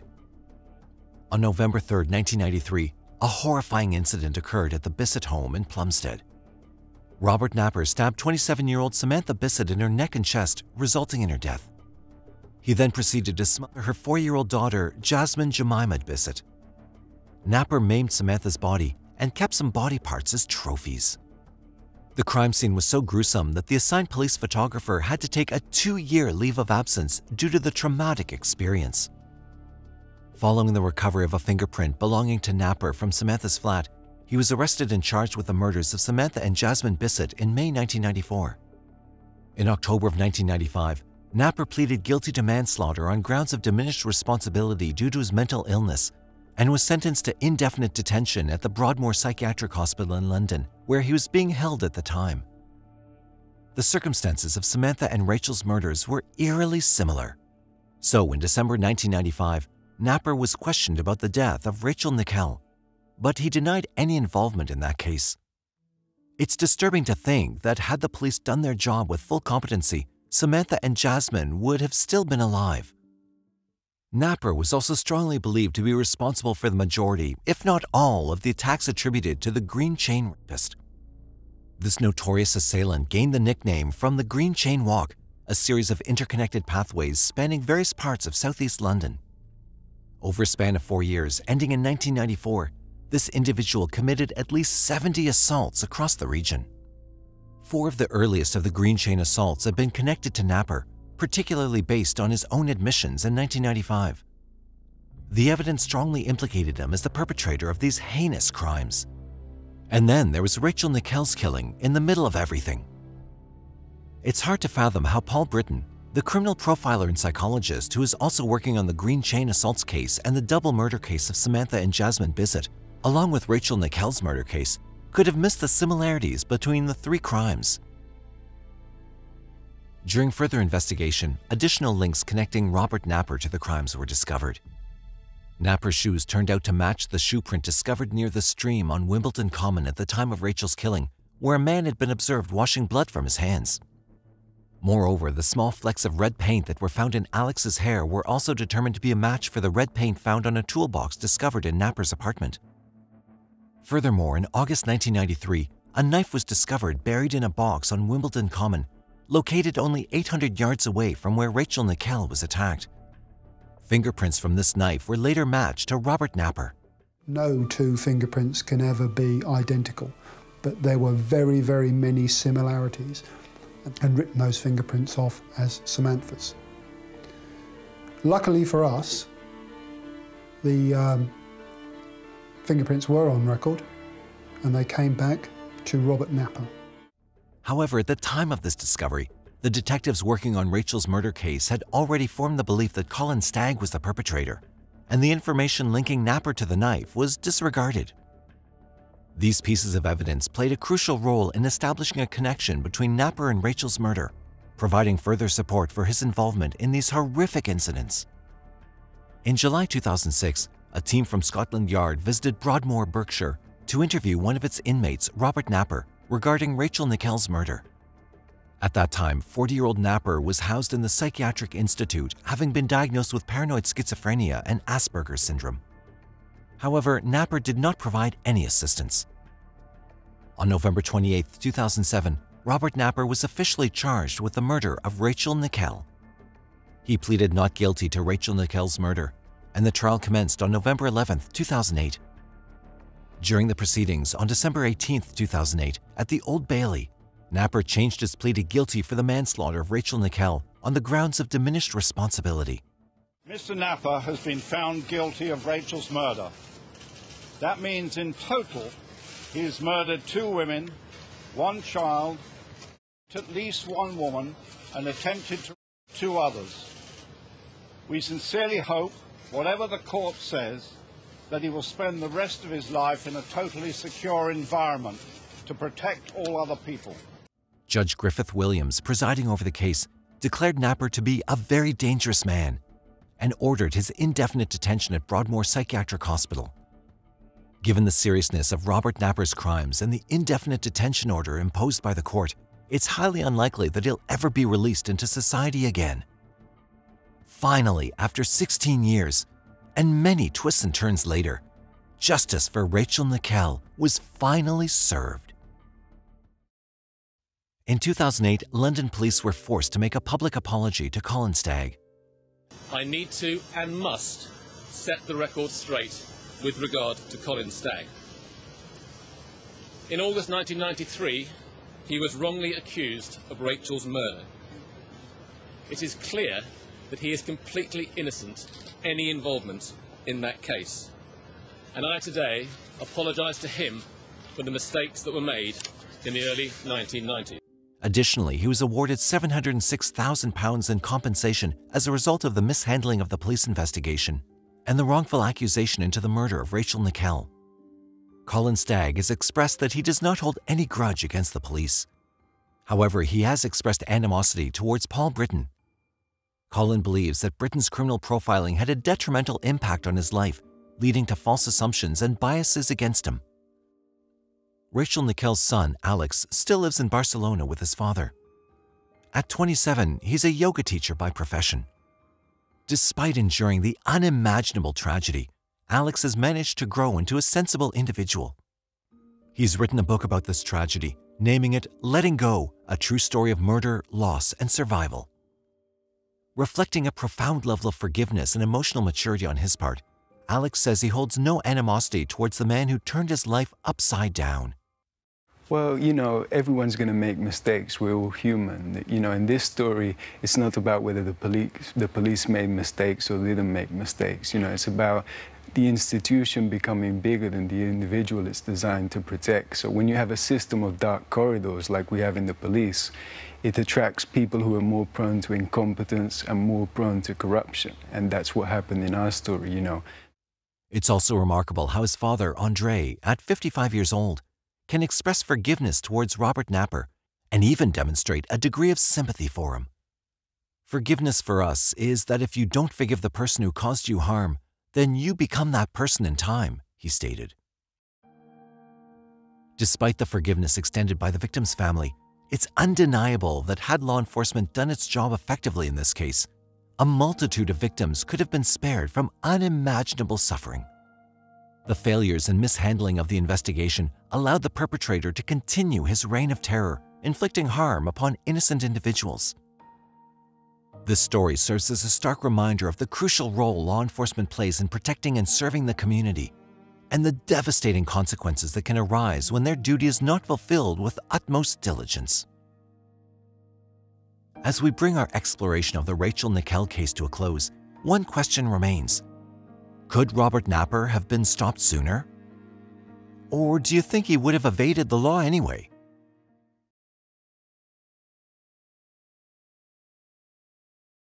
He was, you know, hooked up to a respirator and all kinds of tubes going in and out of him, and it was awful.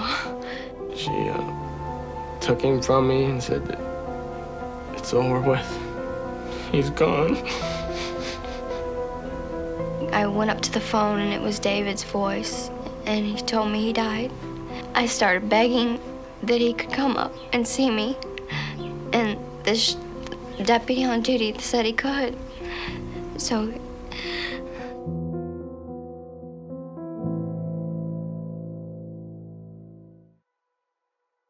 The year was 1989 when the Stallings family's seemingly perfect life took an ominous turn. David and Patricia Stallings' three month old son, Ryan, fell ill. In the quiet suburb of Hillsboro, Missouri, the Stallings couple rushed him into a hospital. They were concerned, but they had no idea what was happening to their son. Vomiting, struggling to breathe, and with an insidious poison coursing through his veins, the medical staff feared the worst. He had been poisoned with antifreeze. As accusations loomed over 24 year old Patricia, Ryan's mother, she was named as a baby killer. Soon, an intensive investigation began. But what was the truth? Why would a first time mother try to kill her own son? Living in Hillsboro, Missouri in 1989 was a charming experience defined by the warmth and close knit community spirit of the small town. Neighbors knew each other by name and shared a sense of camaraderie that made the city feel like one big family. The strong agricultural roots were evident, with many families engaged in farming and agriculture related businesses. The simplicity of life allowed for children to play freely in the neighborhood streets, and friendships forged during these carefree moments. Apart from the friendly neighborhoods, the sense of family was strong. Among 1,625 people living in Hillsboro in 1989, one was Patricia Stallings. During the mid 1980s, Patricia was a clerk at a quaint little convenience store in St. Louis. Little did she know that fate had something extraordinary in store for her. A man named David Stallings was a regular customer whose visits became more than just quick stops for snacks and drinks.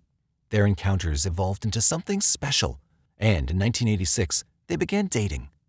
As the years rolled by, their love blossomed. Finally, in 1988, they sealed their commitment by getting married. The vibrant city life of St. Louis welcomed them, but they chose a cozy home in Hillsboro, Missouri. Just when they thought life couldn't get any sweeter, they were blessed with a baby boy on April 4, 1989. They named him Ryan. Ever since he was born, he suffered from gastric distress. It was not long before their world was turned upside down. In July 1989, just three months after their son was born, they witnessed him suffering from alarming symptoms. He was struggling to breathe and vomiting incessantly. Ryan was rushed to Cardinal Glennon Children's Hospital on July 9, 1989. The dedicated medical team sprang into action right away. It wasn't uncommon for newborns to face health issues, but it became a problem when the symptoms did not reduce even after treatment. The medical staff put Ryan in the ICU immediately and took blood samples to check for infections. Ryan's father, David Stallings, said that the staff did not know what was wrong with him. He said, It was just a shock to see a little baby incapacitated the way he was. It was to the point where they said, Well, they don't know how long he's going to be here. It was to the point where they said, Well, they don't know how long he's going to be here. We don't know what's wrong with him yet, so you might as well just go to the waiting room and uh, stay out there until we can tell you what's wrong. He was, you know, hooked up to a respirator and all kinds of tubes going in and out of him, and it was awful. David and Patricia rented a hospital room to be available whenever they were needed by the doctors. Hours were passing by, but there was no improvement in Ryan's health, nor could the doctors identify the problem he was facing. In the meantime, the hospital staff made a shocking discovery. Ryan's blood showed an unusually high level of what they believed to be ethylene glycol, a toxic component found in antifreeze.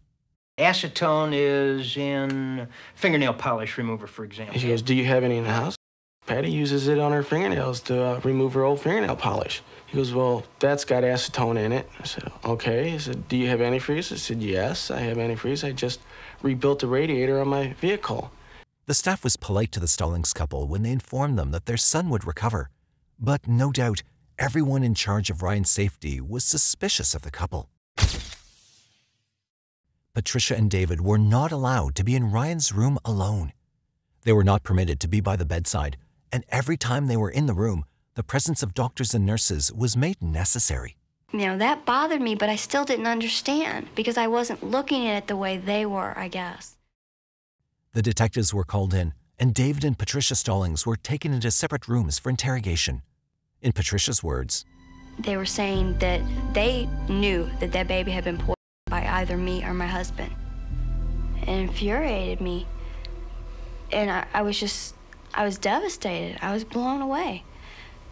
I just could not believe that they could even think. I mean, Ryan was my world. You know, I mean, Ryan, he was so beautiful. He was perfect. Following the test results, the safety of the infant Ryan became a top priority. So, when his condition improved, he was released from the hospital. But the Stallings couple were not allowed to take him home. Instead, Ryan was placed in protective custody. A social worker come up to us and told us that they were taking custody of Ryan from us. And at that point, I became very angry. Why are you doing this to us, is what I told her. And uh, she said, well, this is policy. When uh, there's a suspected uh, poison, we take children from the parents and put them in foster care. His parents were allowed to see him for one hour every Thursday. Ryan knew when we met him the first time, he, he was so happy to see both of us again. He just smiled, the biggest smile you could ever possibly see on a baby's face. I just could not wait till Thursday. You know, I would just, my whole week, I would tell everybody over and over and over how last Thursday went. Despite this, Patricia Stallings was granted a brief period of alone time with her son on the sixth visit on August 31, 1989. It was the visit when David's parents were invited for the first time. About 20 minutes later, Ryan's grandparents decided to leave, so David escorted them out and walked down the hall, leaving Patricia alone with Ryan. David was back in the room within 45 seconds at the most. However, something was not right. Ryan's health seemed to deteriorate again when he suffered from another bout of uncontrollable vomiting, only three days after the visit. The medical team acted swiftly, and to everyone's surprise, the issue was that Ryan had been poisoned once again. Not only that, the detectives made an important discovery. They'd found antifreeze at the Stallings house. So, in the aftermath, on September 5, 1989, when Patricia and David were getting into their car, some police officers asked them to stop. Patricia invited them into the house, but the officers told her that she wasn't allowed inside the house and immediately handcuffed her.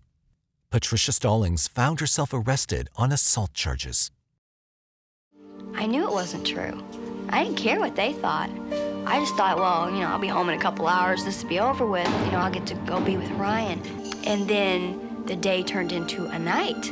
And then it got really serious. I got really scared. While his mother was behind bars, Ryan was treated for ethylene glycol poisoning. But everyone knew that he was slowly dying even after being placed on life support systems. Despite the best efforts of the medical staff, his young life was on the verge of ending, so they told David to contact a minister and get him baptized. David wanted his wife, Patricia, to be there, but the judge could not let it happen. He said that, I'm not going to let a baby killer up there. And I, I said, this lady did not kill this baby. On September 7, 1989, the doctors consulted with David on whether they should turn the life support machine off, and David unwillingly agreed. I told him, I go ahead and shut the machines down. But I wanted to be in there with him. So for three hours, I sat there with him in my arms, knowing that Patty couldn't be there, watching this meter on this machine go down each time his heart would beat. It was hard. It's something I would never ask anybody ever to do. At 6:30 p.m., one of the doctors shut off the machine to monitor his heart rate. She uh, took him from me and said it's over with. He's gone. So, on September 7th, 1989, just two days after he was admitted to the hospital for the second time, Ryan succumbed to the effects of the poison. Patricia was informed about this almost three hours later, around 9 p.m. I went up to the phone and it was David's voice, and he told me he died. And I started begging that he could come up and see me, and this deputy on duty said he could. So.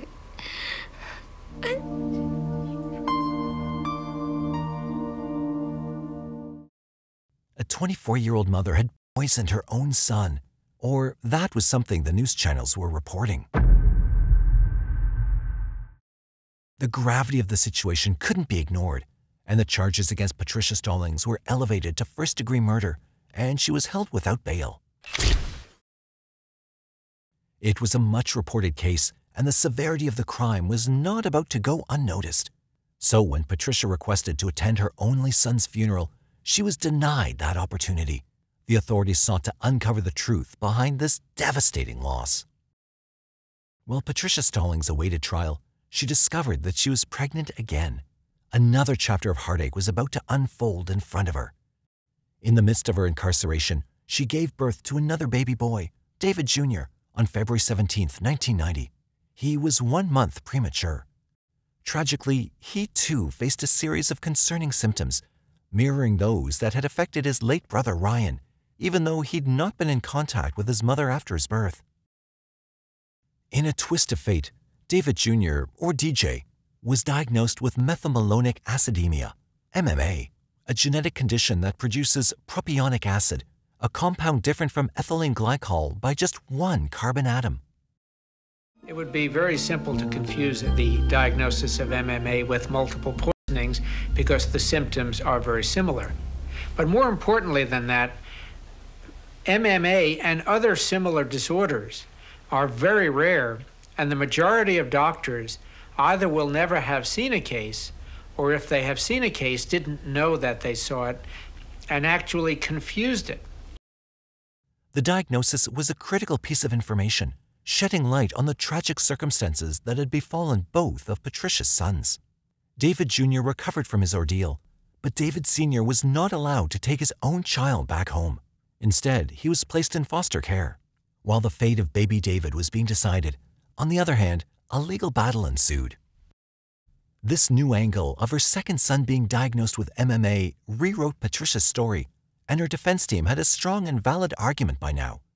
She said, her defense attorney, Eric Rathbone, sought to introduce the theory that Ryan had died of MMA, pointing to the siblings' diagnosis as a crucial factor. But the prosecutor, George B. McElroy, disagreed, considering the diagnosis irrelevant to Ryan's death. While her defense team claimed that she was alone with Ryan for about 45 seconds on the sixth visit, the prosecution claimed that Patricia had anywhere from three to eight minutes during which she fed Ryan using a bottle. They suspected that she'd poisoned that bottled milk with antifreeze or ethylene glycol. David Stallings provided a testimony in his wife's favor, claiming to have seen the bottle. He said that Ryan was getting cranky, so he took the bottle out of the bag and started feeding him. David highlighted that there was no smell or discoloration. In his words, there was nothing done to that bottle. Absolutely nothing. One bottle, which was identified as the bottle she had fed the baby with, actually contained traces of ethylene glycol. That bottle had actually been prepared by the foster mother and retrieved from the baby bag during the visit, but the state believes, and certainly circumstantial evidence suggests, that she slipped ethylene glycol or antifreeze into the bottle during that feeding. Ryan was taken from the visit by the DFS worker to the foster parents' home, but later that day, or, actually early the next morning, was taken to what we call respite home, a, a temporary uh, foster parents who kept them just for the weekend. The second set of foster parents, not knowing what the child was like, may well have overlooked symptoms that the first set would have seen. When the defense team argued that Ryan died of natural causes, the prosecutor, McElroy, said, You might as well speculate that some little man from Mars came down and shot him full of some mysterious bacteria. Soon enough, a significant breakthrough occurred in Patricia Stallings' case. Defense attorney Eric Rathbone managed to obtain copies of crucial notes written by Assistant Prosecutor John S. Applebaum. These notes revealed that the doctor who declared Ryan's death had indeed considered the possibility of an MMA diagnosis. However, at the time, no test had been conducted to confirm this potential medical condition. First cases in the family are often missed, and it's only when it reoccurs again that the medical practitioners are tipped off to the fact that this may well be a genetic disorder, and maybe the first child had that as well. The discovery of these notes opened up new avenues of inquiry and raised questions about the original assessment of Ryan's cause of death. Prosecutors, however, stood firm in their stance, asserting that ethylene glycol, found in Ryan's blood, and propylene glycol, that's formed due to MMA, were very different from one another. They emphasized that even if Ryan had MMA, they still believed he'd been poisoned. The revelation of these notes prompted further scrutiny of the evidence presented and the validity of the initial conclusions drawn by the prosecution. As the trial progressed, Patricia wanted her attorney to call character witnesses to testify on her behalf, but her wishes went unheeded. The presiding judge, Gary Kramer, concurred, ruling that the theory could not be advanced without concrete evidence that Ryan had indeed been affected by MMA. Ultimately, on March 4, 1991, the court found her guilty of first degree murder, and she received a life sentence. David passed out after hearing the verdict and was rushed to the hospital. He knew his Patty could not have hurt her own child. The spotlight on Patricia Stallings' case intensified when it was featured on the television program Unsolved Mysteries on May 8, 1991. Among the thousands of people who watched the episode, there was William Sly, a biochemist from St. Louis University. The case was puzzling, to say the least, and he wanted to help shed light on it. So, William collaborated with Dr. James Shoemaker, a skilled expert in the field, who served as the director of the metabolic screening lab at the university. William and Dr. James's collaboration led to a breakthrough revelation. The analysis of Ryan's blood confirmed that he had indeed suffered from methylmalonic acidemia, MMA, a condition that had not been previously identified during the initial investigation. This discovery was critical but even so, the allegations against Patricia stood firm because ethylene glycol, the toxic substance initially suspected, was not produced naturally in the human body, even in cases of MMA. So, even if Ryan suffered from the same condition as David Jr., it did not explain how his blood had ethylene glycol in it. As the case gained further attention, Dr. Shoemaker sought answers and requested information on the methods used to measure ethylene glycol in Ryan's blood. Prosecutor George McElroy agreed to provide the necessary information. What happened next completely changed what everyone thought they knew about the case. The results revealed that propionic acid, a byproduct of MMA, had caused a result that careless observers might have mistaken for ethylene glycol. I've lost one child to MMA. My second child is stricken with MMA and may not live. He's a year old now, and they're still not sure how to treat him. I lost my freedom. I've lost everything. Dr. Shoemaker took the investigation a step further by sending samples of propionate spiked blood to multiple laboratories who applied the same testing methods employed in the Stallings case. Some of these laboratories arrived at an incorrect conclusion, suggesting ethylene glycol poisoning as a cause. However, amid the confusion and conflicting findings, the collaboration and expertise of William Sly and Dr. Shoemaker continued to make strides. They sought additional support from Dr. Piero Rinaldo of Yale University, whose insights proved instrumental in shedding light on the case. Rinaldo's thorough examination led him to the conclusion that Ryan's death was not the result of ethylene glycol poisoning, but instead stemmed from MMA. With Rinaldo's testimony supporting the new understanding, a shift occurred in the perspective of prosecutor George McElroy. The mounting evidence, combined with Rinaldo's expert analysis, raised serious doubts about the previous poisoning theory. The possibility that Ryan had not been poisoned began to gain traction, leading to a reassessment of the case. Patricia was filled with hope. Patricia Stallings' legal journey took a positive twist on July 30, 1991, when, after spending about two years behind bars, she was granted release pending a new trial. But she was not completely free yet. Patricia was placed under house arrest.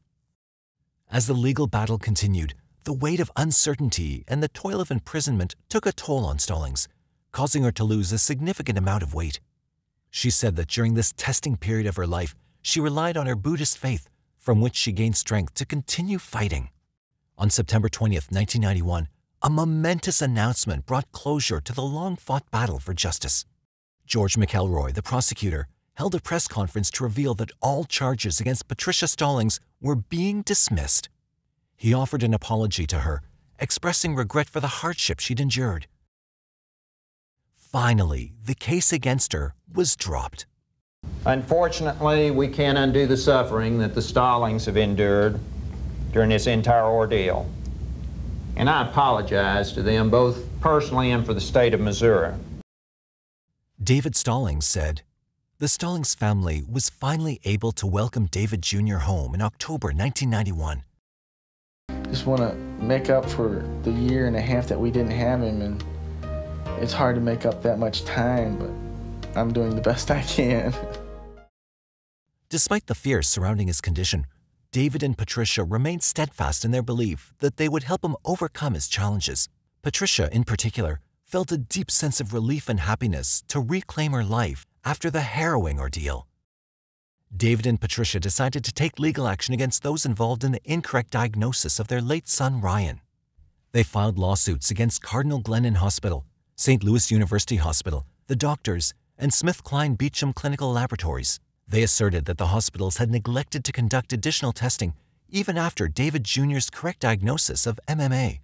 In 1992, Cardinal Glennon, St. Louis University, and the doctors opted for an out of court settlement to resolve the matter. The following year, they also reached a settlement agreement with SmithKline. As a result of these legal victories, the Stallings family received significant financial compensation. However, life's challenges were not yet over for the family. Tragedy struck again when David Jr. passed away on September 17, 2013, at the age of 23. The loss of their beloved son was undoubtedly devastating. Adding to the heartache, David Stallings passed away on April 30, 2019, after a prolonged illness. From the heartache of losing her beloved son Ryan to the joy of being reunited with her second child, David Jr., Patricia's life journey was an emotional roller coaster. There are several cases of false accusations which do not yield the same happy results as in Patricia's case. Even though she won the legal battle, those two years spent under the pressure of being labeled a baby killer could not be reversed. Although David Jr. didn't live a long life, he spent his days with his family in their care and love. Patricia could have given the same support to her first son, Ryan, but she was not even allowed to attend his funeral, let alone in his hospital room. At least Patricia's love enabled her second son to live 23 years of his life.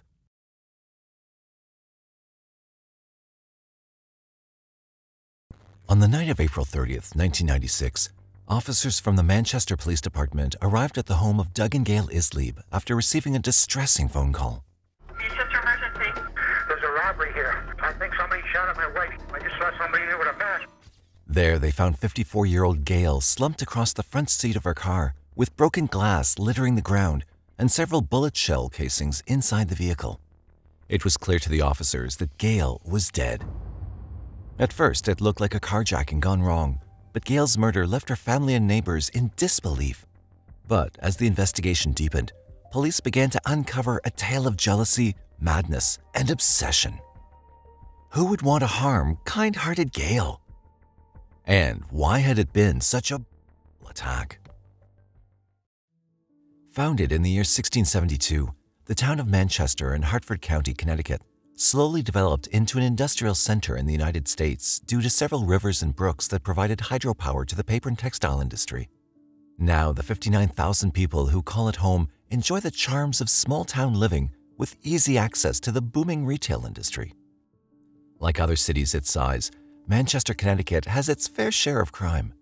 However, adhering to basic safety rules, like locking up homes and avoiding being out alone at night, can protect one from becoming a victim. Yet in 1996, crime found its way to the doorstep of Gail Isleib and her husband Doug. Gail Roberta Morse Isleib was born on October 6, 1941, to parents George and Methel Morse. She was raised in Rumford, Maine, along with her brother George Jr. and sisters Kathleen and Meredith. In 1961, at the age of 20, Gail married Clarence Schultz. They had three children together a son named Chris, and two daughters named Leanne and Merritt. In 1966, the entire family relocated to Connecticut, but soon afterwards, their marriage ended in divorce. Gail married a second time in 1973, but that union too was short lived. Gail began working as an office manager at Styro Sales in 1985, and it was while working there that she met Doug Isleib. They married in 1992 and settled down in Manchester, Connecticut. Gail was a very well loved person in their blended family. She was a devoted mother and grandmother, and everyone adored her loving and nurturing personality. Husband and wife who were just minding their business, uh, living their lives. Gail was a, a devoted mother, it's pretty obvious. She was a devoted grandmother. In 1995, she began working at the local Walmart as a sales assistant in the shoe department. Coworkers gravitated towards Gail's warm and easygoing nature. She was the type of person to offer a helping hand to anyone in need. She faced all challenges with a smile, never complaining about her own problems. But little did anyone know, Gail was fighting a private battle that was about to end in tragedy. It was a stormy night on Tuesday, April 30th, 1996, when the Walmart store manager told Gail and her coworkers they could finish up their shifts and leave at 10 p.m. She arrived home at around 10:50 p.m. Her husband Doug had just got up from the couch to open the front door when he heard a commotion outside as Gail pressed on the car horn several times. This was followed by multiple gunshots.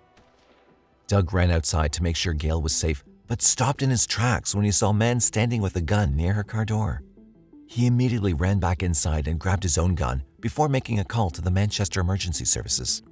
He told the dispatcher that there was a robbery in progress and a masked man had shot at his wife. Manchester emergency. There's a robbery here. I think somebody shot at my wife. I just saw somebody there with a mask. He remained on the line until officers from the Manchester Police Department arrived at the house. At the scene, officers saw that Gail was still in the car with her left hand clutching at her left temple. The glass on the driver's side door was shattered, and shards littered the ground and car interior. One of the officers reached into the car to check Gail's pulse, but her hand fell away lifelessly as her body slumped over the front passenger seat. The police knew immediately that Gail was dead. Crime scene technicians got to work after Gail's body was removed from the car and taken to the office of the medical examiner. Inside the car, they found seven spent shell casings, all belonging to a 22 caliber gun, the same caliber gun that her husband Doug was holding in his hand when police arrived. The initial autopsy report indicated that Gail had been shot at point blank range, and five of the seven shots had been fired directly at her head. It was an up close and personal attack with signs of overkill. From experience, police knew that whomever had killed Gail knew her personally. All fingers now pointed at her husband, Doug. Well, naturally, we have a shooting. He's at the scene with a gun. Well, you're gonna. That's gonna be the first place you're gonna, you know, consider something. Detective Paul Lombardo of the Manchester Police Department took the lead on the case. He split his team into two groups. One group set about questioning neighbors and other potential witnesses, while he and the other detectives took Doug into custody for questioning. Doug was taken to the police station and questioned about the events of the night. His gun was also confiscated and taken in for testing. When questioned, Doug repeated what he'd said to the dispatcher during the 911 call earlier. However, he then told detectives that he believed the gunman may have been a light skinned Hispanic person. He thought that the subject that he saw in his driveway was a uh, Hispanic male, uh, light-skinned male. Detectives immediately pointed out that on the call to the dispatcher, Doug had described the man as wearing a mask. They also told Doug that he'd reported the incident as a robbery in progress, but none of Gail's personal belongings had been taken from the car. For Lombardo and his team, Doug's story seemed suspicious. However, the team that was questioning neighbors reported their findings to Lombardo within the hour. Several neighbors corroborated Doug's story of hearing gunshots. They also told police that they'd seen a white sedan pull away from the Isleib's driveway after the shooting. These eyewitness accounts were backed up by the ballistics report. Although Doug's gun was a 22 caliber revolver, it had not been fired recently, and all the bullets were accounted for. Doug was cleared and allowed to go home. Lombardo and his team returned to the crime scene to look for other clues and determine a possible reason for the shooting. One of their theories was that Gail may have been the victim of a road rage incident. Gail could have unintentionally cut someone off while driving on the highway, and the person may have followed her home and confronted her in the driveway before shooting at her and fleeing. One of the things that we looked at was the possibility that maybe perhaps this was a road rage type of incident. Maybe she cut someone off on her way home and, you know, person uh, wound up driving and, and taking some shots at her. But the new theory didn't sit well with Detective Lombardo and his team. From the various statements given by neighbors and Gail's own family, she was not a confrontational person. Everyone agreed that Gail was friendly and the most unlikely person to make an enemy. It was while trying to reconstruct the type of person Gail was that Detective Lombardo began talking to her daughter, Leanne. Leanne told the detective that Gail had started to behave strangely in the last few months. There were two incidents that stood out to Leanne. The first was when her mother started to hang blankets over the windows in the house. And I said something to her about it. I said, Mom, what are you doing hanging blankets from the windows? And her response to me was, Well, you never know who could be out there looking in your windows. The second was when Leanne wanted to use her mother's car to run a quick errand, but Gail had refused. She parked behind me and I said, Mom, where are your keys? And she refused to let me take her car. She's like, oh, no, no, no, just, just move my car. Um, I don't have enough gas. And she made up one excuse after another. Although Gail had remained vague about what had triggered this change in her behavior, her children knew something was off. I think that she felt like she was protecting us by not exposing us to any danger that might be around. Lombardo sensed he needed to get to the bottom of Gail's sudden change in behavior. He decided to interview the people she worked with daily at the local Walmart. On the morning of Wednesday, May 1st, 1996, Detective Lombardo made his way to the Walmart where Gail worked. The store just opened for business, making it easier to interview her coworkers. They only had good things to say about Gail, but they also mentioned an interesting bit of information. According to Gail's coworkers, she'd been having problems with a fellow employee named Tyrone Montgomery. He was 25 years old and worked in the sporting goods department. Tyrone became good friends with Gail, but had soon started making advances towards her. Employees told Lombardo that Tyrone had become obsessed with Gail. I think some of the words that the employees used were that this person was infatuated with Mrs. Isleib and would, um, you know, just constantly be talking to her and harassing her. Gail had told him she was married, but he continued to pursue her despite her disinterest. On his days off, he'd come into the store and follow Gail around her department. He asked her out to dinner repeatedly, but she politely declined. Many saw him try to put his arm around her, but she kept pushing him away. Montgomery would come in on his days off and hang around the shoe department and follow Gail around uh, when Gail was working. It became obvious that he, he was um, drawn to her, and uh, his feelings were unrequited. Gail was not confrontational and politely played off his advances. She did, however, tell her store manager about the issue, but nothing was ever done. Another coworker told Lombardo of an eerie incident that happened a week before Gail's murder. Tyrone's car had a flat tire, so he asked another employee for a ride back to his house. It so happened that Gail was the person who offered him help. The next day, Gail had told the same coworker that while dropping Tyrone off at his house, he pulled out a BB gun and pushed it against her ribs. He allegedly told Gail that it would be so easy to hijack her, but Gail never reported the incident to police or her family. He apparently either got a ride from her or gave her a ride somewhere, pulled out a, a BB gun and said, See how easy it would be to hijack you. And stuck the, the gun in her ribs, words to that effect. It was only the coworker who knew what had happened. After he questioned the employees, Lombardo noticed the store had a gun department. He checked through the records to see if Tyrone had bought a gun from the store, but there was no record. However, Tyrone's actions were raising major red flags, and Lombardo knew it was time to question him. From employee records, detectives were able to get a hold of Tyrone's home address. However, when they arrived at his house on the afternoon of May 1, 1996, he was nowhere to be found. What they did find was a white sedan parked in the garage. Upon speaking to Tyrone's stepfather, they discovered that the car belonged to him and Tyrone often borrowed it. Detectives explained to Tyrone's mother and stepfather about what had happened to Gail. They also told them that Tyrone was a person of interest in the investigation, but his parents had no idea where Tyrone was at that moment. The car was impounded while police worked to obtain a warrant to search the vehicle. On the morning of Thursday, May 2, 1996, investigators began to search the car for any clues that could lead to answers in Gail's murder. Inside, they found a knife, an ice pick, makeup, women's clothing, a cake dish, latex gloves, and duct tape. They also found handwritten notes in the car, one of which had been partially burned and left in the ashtray. Another note looked like a love letter written to Gail. To detectives, the burnt pages looked like a criminal checklist. The notes included directions on how to disguise oneself. It also mentioned coming up with an excuse of returning a cake dish in order to gain entry into Gail and Doug's home. But what confused detectives was the mention of using an ice pick on a man. They concluded that perhaps Doug was the intended victim after all. At this point, we had no way of talking to him about that. So we had to find other means of, of tying these notes into Tyrone.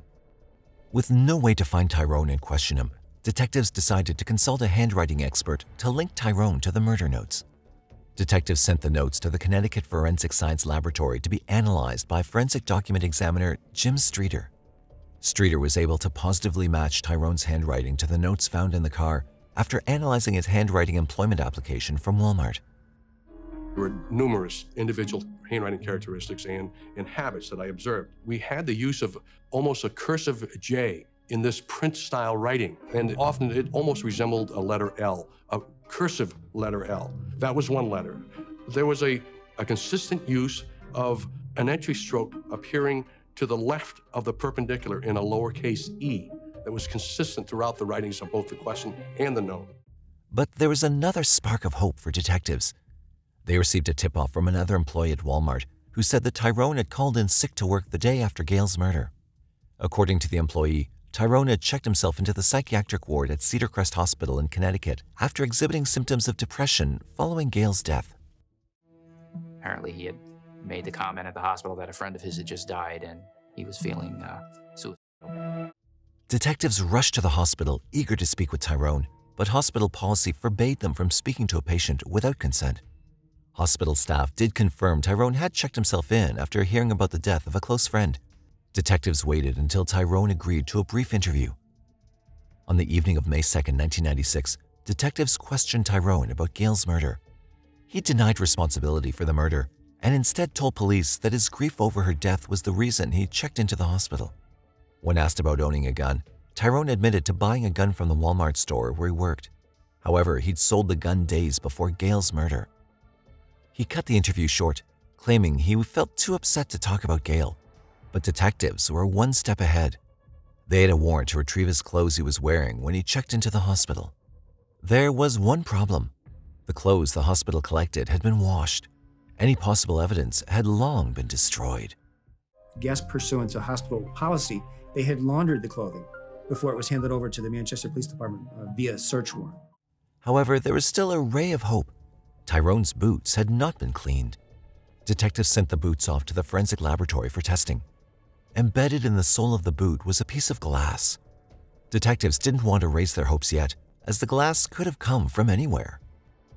Crime scene analyst Virginia Maxwell examined the glass fragment by studying its refractive index to measure how light passed through glass shards. After comparing both fragments on a light spectrum, Maxwell concluded that the glass found on Tyrone's boot matched the glass from Gail's car window. But when we do testing with refractive indices, the best we can say is that that known sample could have been the source of that question sample. But investigators needed more proof to tie Tyrone to Gail's murder.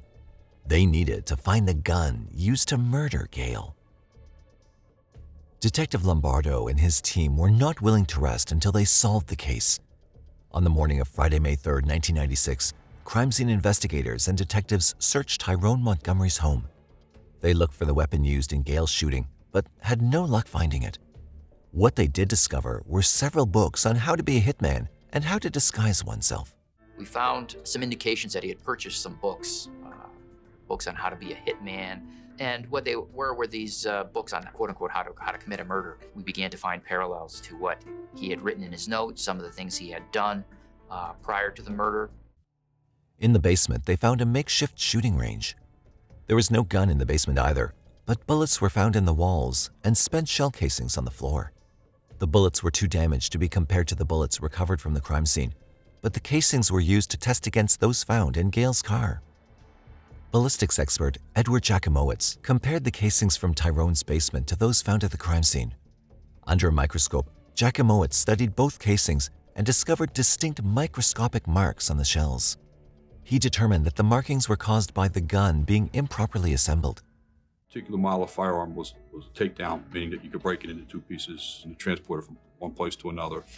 Uh, and it just wasn't quite together properly. Whoever assembled this just didn't push the frame back into the barrel tight enough. So there was about a millimeter gap between the frame and the barrel. In his findings, Jakimowicz concluded that the gun used to kill Gail was the same gun that was fired in Tyrone's basement.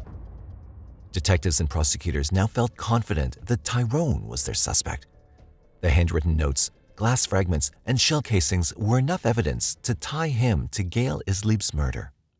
On Friday, May 3, 1996, Tyrone Montgomery was arrested and charged for the murder of Gail Islieb. Having gathered all the evidence, detectives sat down to question Tyrone. They interrogated him about the notes and the murder plot he developed.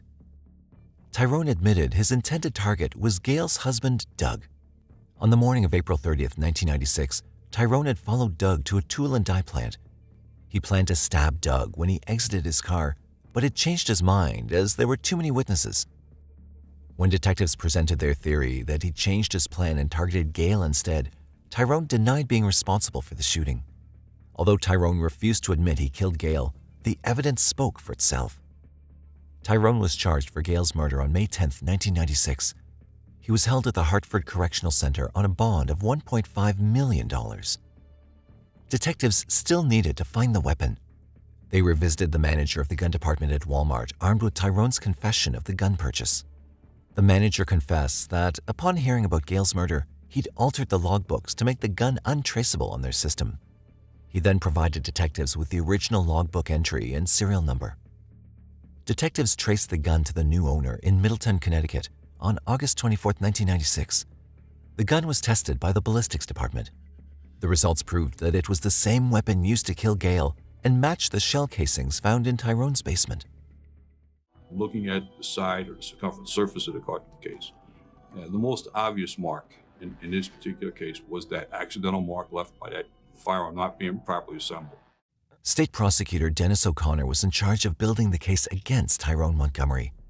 It was his job to put forward a convincing argument as to why Tyrone was the person responsible for Gail Isleib's murder. Together with detectives, the prosecution team developed a working theory of what had led to the murder. They believed that Tyrone had become infatuated with Gail despite their age difference. He may have sought comfort in her company and attempted to pursue her aggressively. When she rejected his advances, he became frustrated. To him, the major problem was her marriage to Doug. Tyrone then concocted a plan to get rid of Doug so that he and Gail could be together. Tyrone began researching methods of murder and kidnapping. He developed several scenarios and made notes on how to carry out the crime. He stalked Gail and Doug, learning their daily routines and movements. He planned to attack Doug in the parking lot after following him to work, but backed out because it was busy.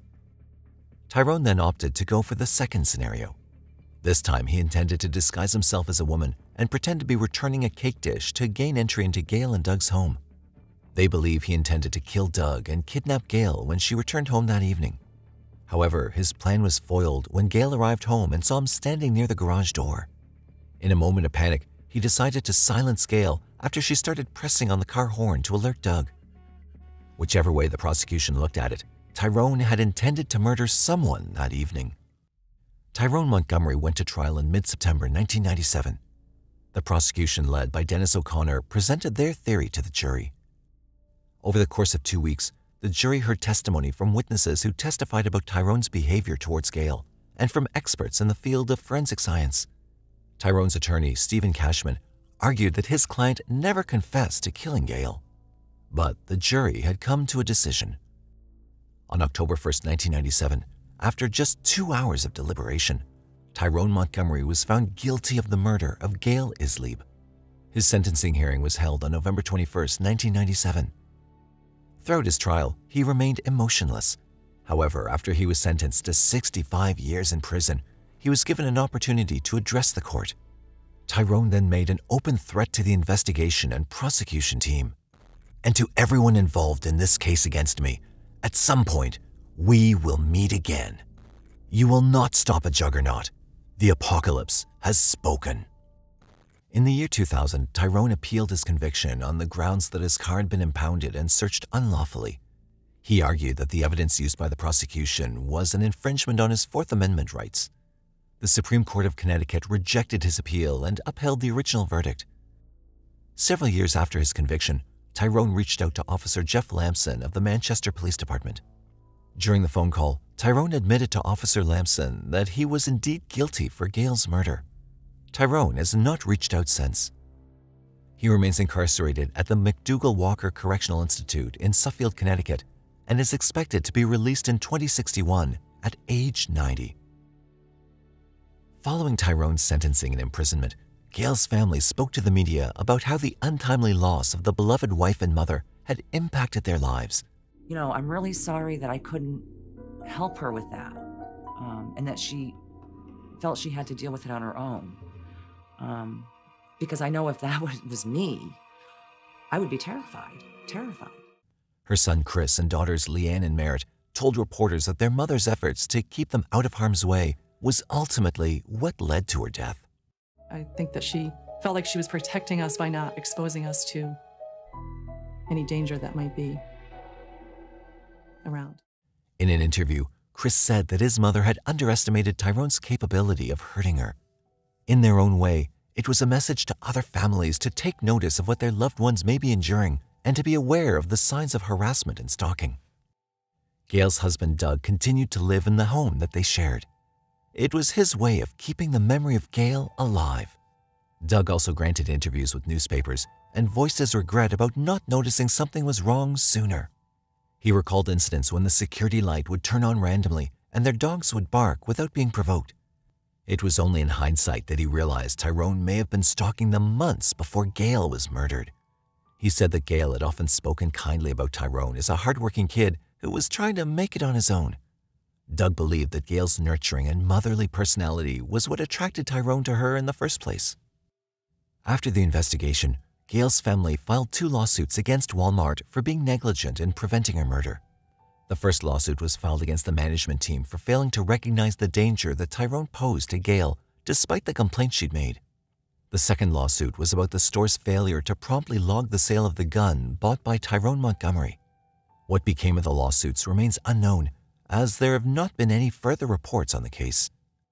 Gail Isleib's murder ranks among the most tragic cases covered by our channel. It's sad to think that she was a woman who often tried to overlook people's faults and find the goodness in them. It was this very comforting nature of hers that ultimately led to her death.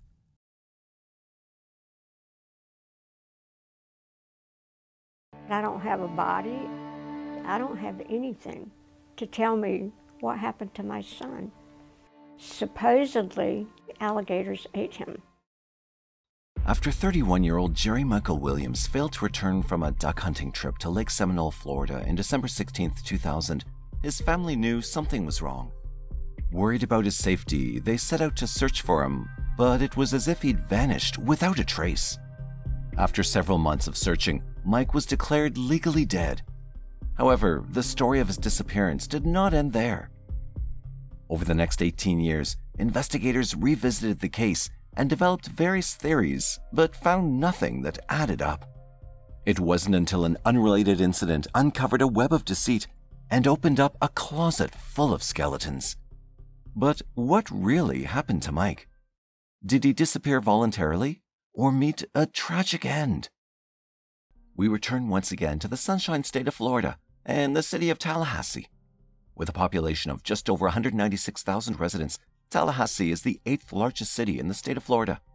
It's known as a good place to live for those wanting to raise a family, with its cost of living ranking at 4% lower than the national average in the United States.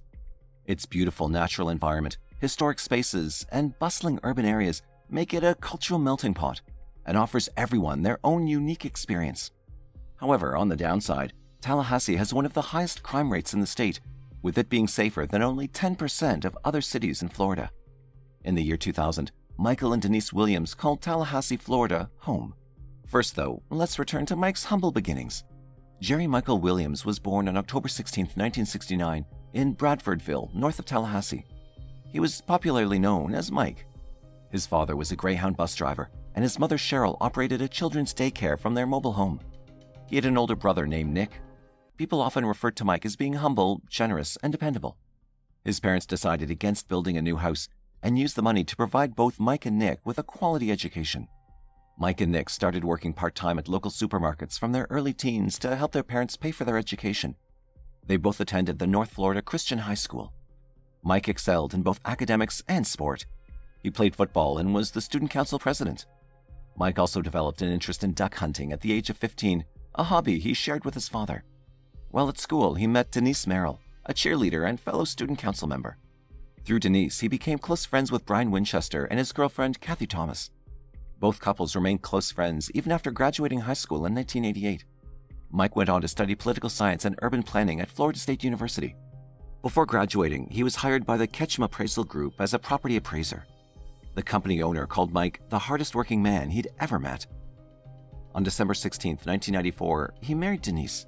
The same year, Brian also married Kathy. Both couples remained close friends. Mike and Denise eventually moved into an upscale but small suburb on the east side of Tallahassee. On May 8, 1999, Mike and Denise welcomed a baby girl named Ansley into the world. Mike was as devoted to his family as he was to his job. Just totally overwhelmed. She was due Tuesday, and she would have made me wait a whole nother year for Mother's Day, so she came yesterday so I could enjoy this day today with her. It was unbelievable. I have a whole new respect for my wife and women in general and what they go through to bring a, a new child, new life into the world. After his father passed away suddenly in the year 2000, Mike saw the need to ensure his family was provided for financially. He took out a life insurance policy valued at $1 million with his friend Brian. Mike was looking forward to expanding his family with Denise and celebrating their sixth wedding anniversary on December 16, 2000. They'd also planned a family cruise to Hawaii in a few months. Little did Mike or anyone else know what was about to unfold. As dawn broke on the Saturday morning of December 16, 2000, Mike woke up early to prepare himself for a relaxing day of duck hunting. He was looking forward to returning home later to celebrate his sixth wedding anniversary with his wife Denise and daughter Ansley in the city of Apalachicola, just an hour and a half away from Tallahassee. He attached his boat to his 1994 Ford Bronco truck, packed his gear and some food, and headed towards Lake Seminole, located on the border of Florida and Georgia. By midday, however, Mike had not returned home. Denise tried calling his phone several times, but each call went to voicemail. It was unusual behavior for Mike, as he was always available to take a call from his wife in case of an emergency. Denise was also concerned because she and Mike had made plans to spend their anniversary together. She called her father and told him that Mike had not returned from duck hunting. Denise then called Brian Winchester, Mike's best friend. Denise asked him if he could help find Mike, who she believed was missing. Brian and his father Marcus decided to drive down to the lake and search for Mike in the areas he frequented. After a long search of Mike's favorite hunting spots, they found his Ford truck parked near a remote boat launch at a cove on the Florida side of Lake Seminole. There was no sign of Mike or his boat. Brian decided it was time to call the authorities. The Florida Fish and Wildlife Conservation Commission handled the search as it was reported as a missing hunter case. Their focus was a search and rescue operation. The search focused on the 10 acres of the lake surrounding the cove where Mike's truck was found. Officers from the FFWCC used air and land support in their search. A team of divers carefully navigated the area due to the alligators living in the lake. It was a few hours later a pilot discovered Mike's boat in the water. It had drifted just 225 feet away from the boat ramp. Upon searching the boat, they found Mike's shotgun still in its case. But there was no sign of Mike. Divers, too, had no luck in finding any trace of Mike in the search area. Deputies from the Jackson County Sheriff's Office also joined the search as additional manpower was needed. From what investigators discovered at the scene, there were no signs that suggested foul play. Unfortunately, that night, a storm rolled in, bringing with it a cold front that delayed the search for Mike. At the time, investigators believed that Mike had been the victim of a boating accident. They theorized that Mike's boat could possibly have hit one of the many protruding tree stumps in the lake, causing him to fall over and drown. Having found none of his hunting gear on the boat, they concluded that he was wearing his hunting gear at the time of the accident. It was a strong possibility his gear may have filled with water and dragged him to the bottom of the lake. Furthermore, investigators determined that Mike may have been attacked and dismembered by the alligators that populated the lake. Investigators explained this theory to Mike's family, but his mother Cheryl refused to believe it. I don't have a body. I don't have anything to tell me what happened to my son. Supposedly, alligators ate him. As the search resumed, Cheryl herself hired a private search team to help locate Mike. If Mike had drowned and then been attacked by alligators, investigators were sure his body would eventually float to the surface of the lake. Days turned to weeks, and weeks turned to months. By February 2001, the search had come to a standstill. There was no sign of Mike. The private search team now also agreed with the theory that Mike may have been eaten by alligators. The only possible explanation for a lack of a body was that the alligators could have stored the remains in a location that search teams couldn't locate. A day after the search was called off, Denise held a memorial service for Mike. To everyone, it had seemed that Denise had come to terms with losing Mike, but Cheryl refused to keep quiet.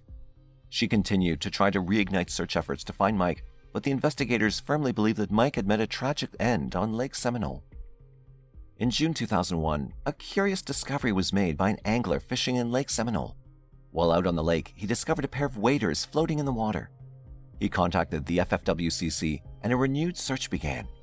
It was the first big break since Mike had gone missing six months earlier. Divers who were called to help in the search found a lightweight hunting jacket at the bottom of the lake. After bringing it to the surface, they discovered a fully functioning flashlight and a hunting license belonging to Mike Williams. The find, however, raised more questions.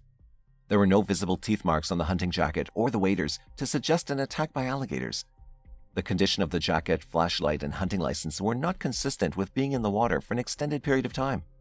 The jacket was tested for DNA that would have been left behind had Mike been using the gear, but all tests came back negative. But the discovery was not the only surprising news Cheryl and her son Nick were about to receive. A week after Mike's hunting jacket was found in the lake, a Leon County judge granted Mike's widow Denise a petition to have him declared legally dead. A process that normally took five years in the state of California was granted in a matter of six months. The decision allowed Denise to begin proceedings to access Mike's life insurance. She was able to cash out three life policies with an accumulated value of $1.5 million. Denise, it seemed, had moved on and refused to search for Mike or seek any further assistance. The entire situation seemed suspicious to Cheryl, who believed there was something more to the case. She'd not been made aware that Denise had petitioned for Mike to be declared legally dead. She vowed not to give up her fight for justice. After trying and failing to have the investigation into Mike's disappearance reopened, his mother Cheryl took the matter into her own hands again. She strongly believed that Mike had not drowned in the lake, as far as she knew, Mike had been highly experienced in duck hunting and took all the precautions he needed before setting out on a trip. Cheryl turned to taking out advertisements in the local newspapers, granting local reporters interviews, and going as far as to put up billboards seeking answers about Mike. Having lost her husband and now her son, it had been too hard for her to process that Mike simply vanished. She'd kept notes on Mike's investigation and even made her own investigation into the alligator theory. This, however, created tension between her and Denise. Following Mike's death, Denise had remained on good terms with Cheryl. But as time passed and Cheryl remained relentless in her search for Mike, Denise grew angry. She issued Cheryl and Mike's brother Nick with an ultimatum to stop the investigation or they would never see Ansley again. According to reports, an article in the Tallahassee Democrat led to a confrontation between Denise, Cheryl, and Nick in August 2001. Denise had called Cheryl and Nick over to the home she once shared with Mike. The talk turned into a heated confrontation between Denise and Cheryl, with Denise accusing her mother in law of being stubborn. Denise added that she was tired of seeing articles about Mike and his disappearance in the paper and on billboards in the city. She just wanted to have a chance to get on with her life. Cheryl faced the possibility of losing contact with her granddaughter Ansley but she could not give up on her son. After Mike disappeared, she threatened me. She said, if you do anything to get a criminal investigation, you're going to lose access to Ansley, my granddaughter. I'd already lost my husband. I lost Michael. And now she's telling me I'm going to lose Ansley. Mike's case was reopened in 2004 after Cheryl lobbied for the Florida Department of Law Enforcement to take a fresh look at the evidence they initially collected. Over the course of four years, Cheryl remained active in the investigation and took her evidence to the department. One of the theories she helped dispel was that of the alligators devouring Mike's remains. Through independent research and seeking out an expert, Cheryl was able to learn that alligators do not feed during the cold winter months. This evidence was brought to the department officials who conducted their own investigation into alligator feeding habits. It was proven correct, and the initial belief that Mike was eaten by alligators was debunked by several experts. Some went as far as to explain that it would be a stretch to imagine a fully grown adult male being completely devoured by alligators. Other officers who had been part of the initial investigation came forward with some of the inconsistencies they discovered during the case. The first issue began with the discovery of Mike's truck and boat. Everyone who knew Mike understood that he was a stickler when it came to safety. Mike knew the area well enough to understand the dangers of parking his truck and launching his fishing boat in an isolated and underdeveloped area. He was not the type of person to take a risk like that. He often used the concrete boat launches when fishing. Another peculiarity was with the boat itself. For one, the engine had been switched off and the gas tank was still full. If Mike fell off the boat while hunting, the engine would still have been switched on but dead, and the gas tank completely empty. The final puzzling factor was the discovery of the waders and hunting jacket. There had been no signs of damage by wildlife, nor was there any significant water damage related to being submerged in fresh water for an extended period. There were only two possible theories investigators could come up with. Either Mike had left on his own, or foul play was involved in his disappearance. Questions were being raised, and Mike's case had come into the spotlight once again. Although Cheryl finally received the breakthrough she'd been fighting for, she was about to be dealt another blow. In January 2005, things reached a tipping point between Denise and Cheryl. Following the reopening of the case, Denise denied Cheryl and Nick any access to Ansley. But investigators' suspicions were raised even further after the marriage of Denise Williams to Brian Winchester on December 3, 2005. Investigators learned that two years after Mike's disappearance, Brian filed for divorce from his wife Kathy and moved in with Denise. They interviewed Kathy, who told them that she suspected Brian was having an affair with Denise since 1997. Furthermore, Brian was the person who drew up Mike's insurance policy just six months before his disappearance. The same policies that Denise cashed mere days after her petition to have Mike declared legally dead was allowed. Brian also seemed to integrate himself into the investigation at rather crucial moments. He was the person to find Mike's truck, he agreed with the alligator theory, and he helped identify the items found in the lake six months after Mike disappeared. Investigators also learned of the confrontations between Denise and Cheryl. It seemed odd to them that, as Mike's wife, she did not want anything more to do with the investigation and also tried to deter Cheryl from pursuing the case. This prompted investigators to bring both Brian and Denise in for questioning in 2005. When questioned about the day of Mike's disappearance, Brian told investigators he'd planned to go hunting with his father in law on the morning of December 16, 2000. However, he overslept after attending a concert with his ex wife Kathy the night before. His story seemed to fit with the background investigation into his movements on the day of Mike's disappearance. During her questioning, Denise described her day in a matter of fact style. She said that she woke up after Mike left to go hunting. She then tended to Ansley and went about her daily routine. Later, she called to check on Mike, and after several unanswered calls, decided to contact her father and Brian to help look for Mike. Her answers were cool and without emotion, according to investigators. But the interviews did not bring investigators any closer to discovering what happened to Mike. In 2008, the Florida Department of Law Enforcement announced that Mike's disappearance was not an accident, and they believed that foul play was involved. However, without enough evidence, they were unable to issue any search warrants or pursue charges in the case. This was impacted by the fact that the initial investigation had not focused on the homicide angle at all. Due to this, all possible evidence from the crime scene, Mike's boat, and truck had deteriorated. They actively stopped pursuing the case, but investigators remained hopeful that sometime in the future, a spilled secret could lead to the truth behind Mike's disappearance. Cheryl continued to put pressure on the FDLE to look into Mike's case. When her attempts failed, she turned to writing a letter every single day for nine years to the office of the governor of Florida. After sending nearly 2,600 letters to the office without reply, she called the office of Governor Rick Scott personally to ask why he didn't answer any of her letters. Cheryl was told that all of her letters had been forwarded to the FDLE for further investigation. Disappointed, but not deterred, Cheryl continued to seek justice. On her own, she held a demonstration in Tallahassee in 2011 to honor Mike and seek answers in his case. On the afternoon of August 5, 2016, the course of the investigation finally took a turn for the better. In a surprising twist of events, Denise walked into the Leon County Sheriff's Office to file a charge of kidnapping and request a protection order against her ex husband, Brian Winchester. This was, however, part of the investigative team's plan over the last few years. Unbeknownst to Denise or Brian, investigators had been watching them closely over the years. They were aware that the couple separated in 2012 after Brian proved to be unfaithful in the marriage. Added to that was the tension created by the investigation into Mike's case as a possible homicide and their constant fighting. Investigators were aware that both Brian and Denise had started to grow paranoid since their previous interview with the couple. Those monitoring the couple noticed that Denise maintained her cool exterior and didn't seem to fold under pressure. Brian, however, had started to unravel under the weight of the stress. According to a few friends of Brian, he'd become a ghost of his former self. He was desperate to hold on to his marriage with Denise. Brian turned to therapy for treatment of his addictions. Denise, however, went ahead and filed for divorce from Brian in 2015. This had been the tipping point. According to reports, investigators saw an opportunity to strike while the iron was hot. The investigators knew they needed to provoke a reaction from either Denise or Brian in order to get answers about what happened to Mike. They saw their opportunity on the evening of August 4, 2016.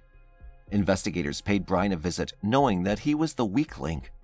They explained to him that Denise planned to tell them the truth about Mike's disappearance once her divorce with him was made official. With no spousal privilege binding them, she could testify and place the blame of Mike's disappearance squarely on his shoulders. The investigators' ploy paid off, and they finally had Denise where they wanted her in the interrogation room. Over the course of three hours, Denise explained her side of the story and how Brian had attempted to kidnap her on the morning of August 5, 2016, the day after the investigators had approached Brian. On that morning, Denise was on her way to work at Florida State University when she noticed a man climbing over the back seat of her SUV. She then noticed that it was Brian. She explained to officers that she believed Brian may have been sleeping in her car, lying in wait for her. She believed that he'd resorted to this after she refused to answer any of his numerous phone calls the night before. Denise went on to explain that Brian got into the seat behind her and held a handgun to her ribs. Brian then demanded she drive to an isolated area, but she didn't comply. Instead, she intentionally made a wrong turn that led to a parking lot of a local drugstore. Denise explained she was in tears at the time due to the shock of the situation, but Brian was furious and screamed at her to stop crying. She regained her composure and calmly asked him if he was planning on killing the both of them that day. Brian responded by saying he intended to take his own life because he had nothing more to live for after their divorce became final. In order to calm him down, she tried to soothe him and listen to his side of the story. Thereafter, she agreed not to report the incident to police and promised to meet with him and his father Marcus for a meeting that afternoon at Marcus's office. Once he calmed down, Denise drove him to his own truck. As he got ready to leave the car, he pulled out a backpack and began packing what appeared to be a sheet, a plastic cover, a metal tool, and a bottle of bleach. He also packed a gun into his bag. Denise realized that it was Brian's kill kit and if things had gone any other way, she would not have been here at the sheriff's office reporting the incident. Her first instinct after Brian drove off was to get a protection order for herself and Ansley. Officers were able to gain Denise's trust by agreeing with her assessment of Brian's behavior and gradual loss of control. Sheriff's deputies contacted FDLE Special Agent Mike Devaney and Tallahassee Police Officer David McCrane, both of whom worked on Mike's case. McCrane also happened to be Denise's brother in law, as he was her sister Deborah's husband. They gained her confidence by talking about Brian's kidnapping attempt before jumping straight into the real reason they were there to get answers about Mike's disappearance. McCrane presented Denise with what they knew about Brian's behavior before throwing out the idea that if Brian could attempt killing her, it was possible he also killed Mike. I'm wondering if she was taking you to the same place today that he buried Mike, because he's done it before. You have to wrap your mind around it, Denise. That is what he has done, and he's willing to do it again. He is going to kill you. Think about it. He went through, he slept in your car and waited for you. But I don't think he slept. I think he knew a time. He was watching you. That's just not to be. He watched Mike. I watched Mike stay in that office every night till 11 o'clock at night. All the time. Mike was so predictable. I every, every now and then I'd talk to him, but then I wouldn't get to talk to him. So predictable. Yeah. He waited for him that day. Was it, he was missing for five or six hours, Brian? The day of? I don't know. Well, a lot of people know. Missing? Yeah. Denise stubbornly refused to believe Brian was capable of such a horrific crime.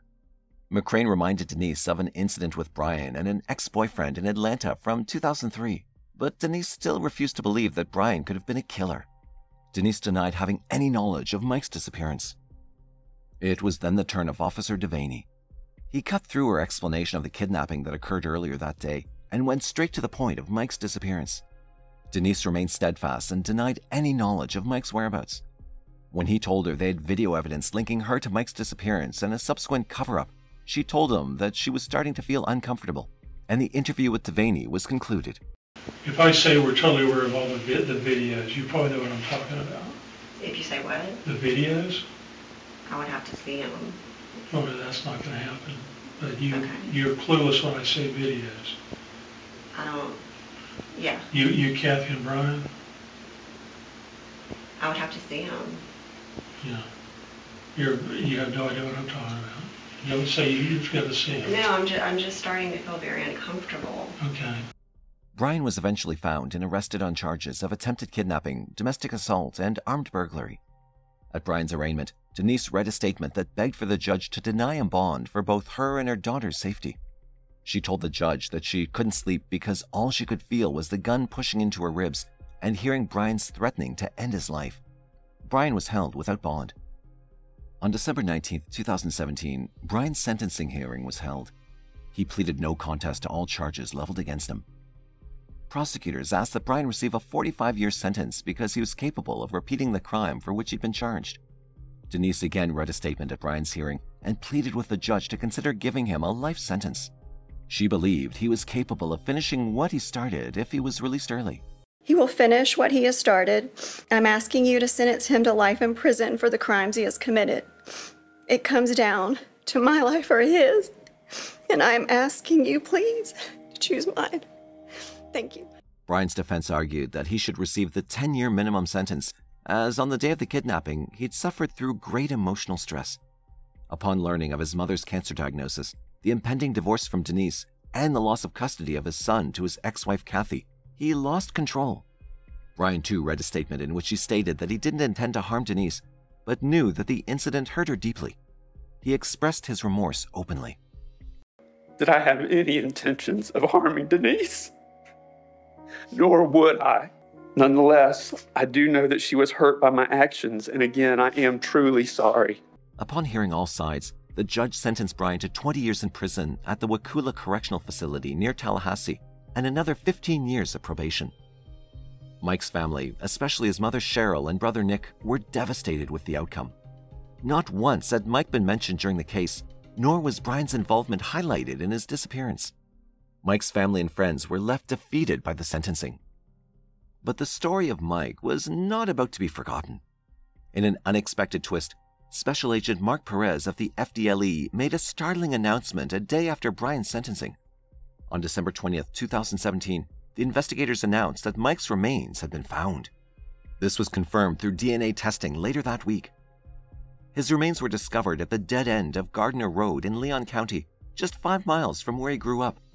Investigators did not reveal the manner in which Mike had met his tragic end, but confirmed that the case was being investigated as a homicide. Investigators continued to monitor Denise and brought Kathy Thomas, Brian's ex wife, on board as an informant. Denise made contact with Kathy just a week after Brian's sentencing. Kathy played along as their conversations were being taped. Denise had wanted Kathy to pass along a message to Marcus, Brian's father.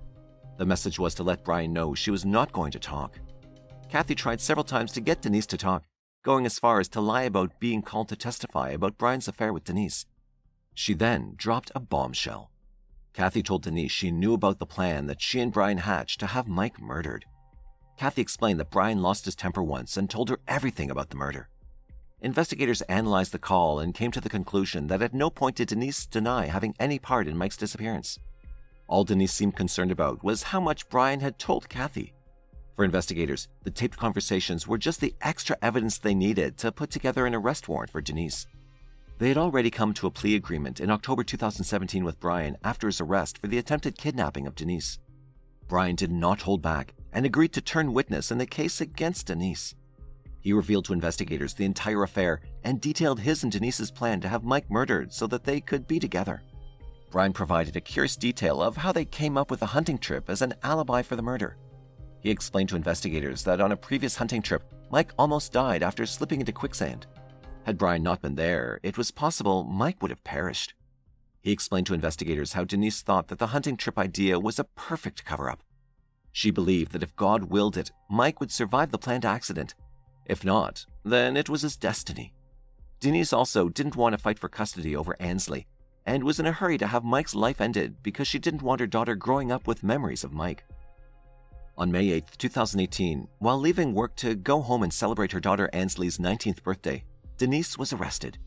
She was charged for first degree murder, conspiracy to commit murder, and accessory after the fact. She was detained at the Leon County Detention Center, awaiting a bond hearing. In June 2018, she was denied bail and remained in the detention center until her trial began in December 2018. Denise's defense lawyer, Ethan Way, continued to appeal the charges and maintained Denise's not guilty plea. On December 11, 2018, Denise's trial began. Opening statements were heard on that day, and the prosecution argued that Denise preferred to be known as a widow rather than a divorcee. The next person to testify in the case was Brian Winchester. He told the court of their affair and how the plan to have Mike killed and make it look like an accident came about. And another option was that uh, the four of us would go out on a boat out into the Gulf, and basically uh, that Kathy and Mike would be pushed overboard, and that Denise and I would find a buoy way offshore that we could uh, hold on to and either let the boat sink or let the boat take off on its own or whatever and make it look like we had an accident on the water uh, and that Denise and I had survived the accident. Throughout the trial, Denise remained emotionless, listening as witness after witness came forward exposing what they knew about her involvement in Mike's disappearance. During a cross examination, Brian admitted that he was a liar and a murderer, but explained that his attorneys advised him to tell the truth and receive a deal for giving testimony of Denise's involvement in Mike's disappearance and murder. In the end, her defense team argued that there was no evidence tying Denise to Mike's disappearance, nor was there a confession from Denise that she played a role in Mike's murder. They went after Brian instead and pointed out the deal he made and the motivation he had to murder Mike. On December 14, 2018, the jury found Denise guilty on all charges after deliberating for eight hours. In February 2019, Denise was sentenced to life imprisonment at the Florida Women's Reception Center. The only person to speak at the sentencing, apart from the lawyers, was Cheryl Williams, who told the court that justice had finally been served. Judge Hankinson, there is no amount of prison time that will bring Mike back to me. I don't know if I will ever have Ansley in my life again because of the damage her mother has done. I am asking you to lock Denise Merrill Williams Winchester up for the rest of her life with no chance of parole. She has already lived 18 years longer than my son. Five months later, in July 2019, Ansley was awarded all the assets of her late father's estate and the insurance money received by Denise. She was awarded this with a caveat that she could in no way use the money to help pay for her mother's legal fees, or else she would face a hefty penalty. In January 2020, Denise appealed her life sentence conviction before the Florida First District Court of Appeals. Her lawyers argued there was no evidence linking her to the actual crime. In November 2020, her murder conviction was overturned, but the conspiracy charge remained in place. Denise Williams' release date is set for April 25, 2047. She will be 78 years old before she sees the outside world again. Brian was moved to the Madison Correctional Institute in Florida to serve out the remainder of his sentence. His current release date is set for July 30, 2036, when he'll be 67 years old. Mike and Denise's daughter, Ansley, has maintained her mother's innocence and placed the blame on Brian Winchester. She refused to speak with any media outlets regarding the outcome of the case and her personal life. According to reports, Cheryl and Nick Williams have also had no luck in making contact with Ansley. Cheryl maintains there is so much she wants to tell Ansley, but most of all, she wanted her to know that her father Mike loved her dearly. For Cheryl, it's been hard knowing not only did she lose her son, she also lost her granddaughter. The case of Mike Williams is as sad as it is twisted. Not only did a good man lose his life, but for years, those responsible continued to benefit from measures he took to ensure his family's future. Do you believe that Brian only dragged Denise into the conspiracy out of revenge? Or is Denise equally guilty for Mike's murder, even if she didn't pull the trigger? Let us know your thoughts in the comment section below. If you have any cases you'd like us to cover, please mention that too in the comments as well. Also, please remember to like, share, and subscribe to our channel for more mysterious crime content. Until next time, stay safe.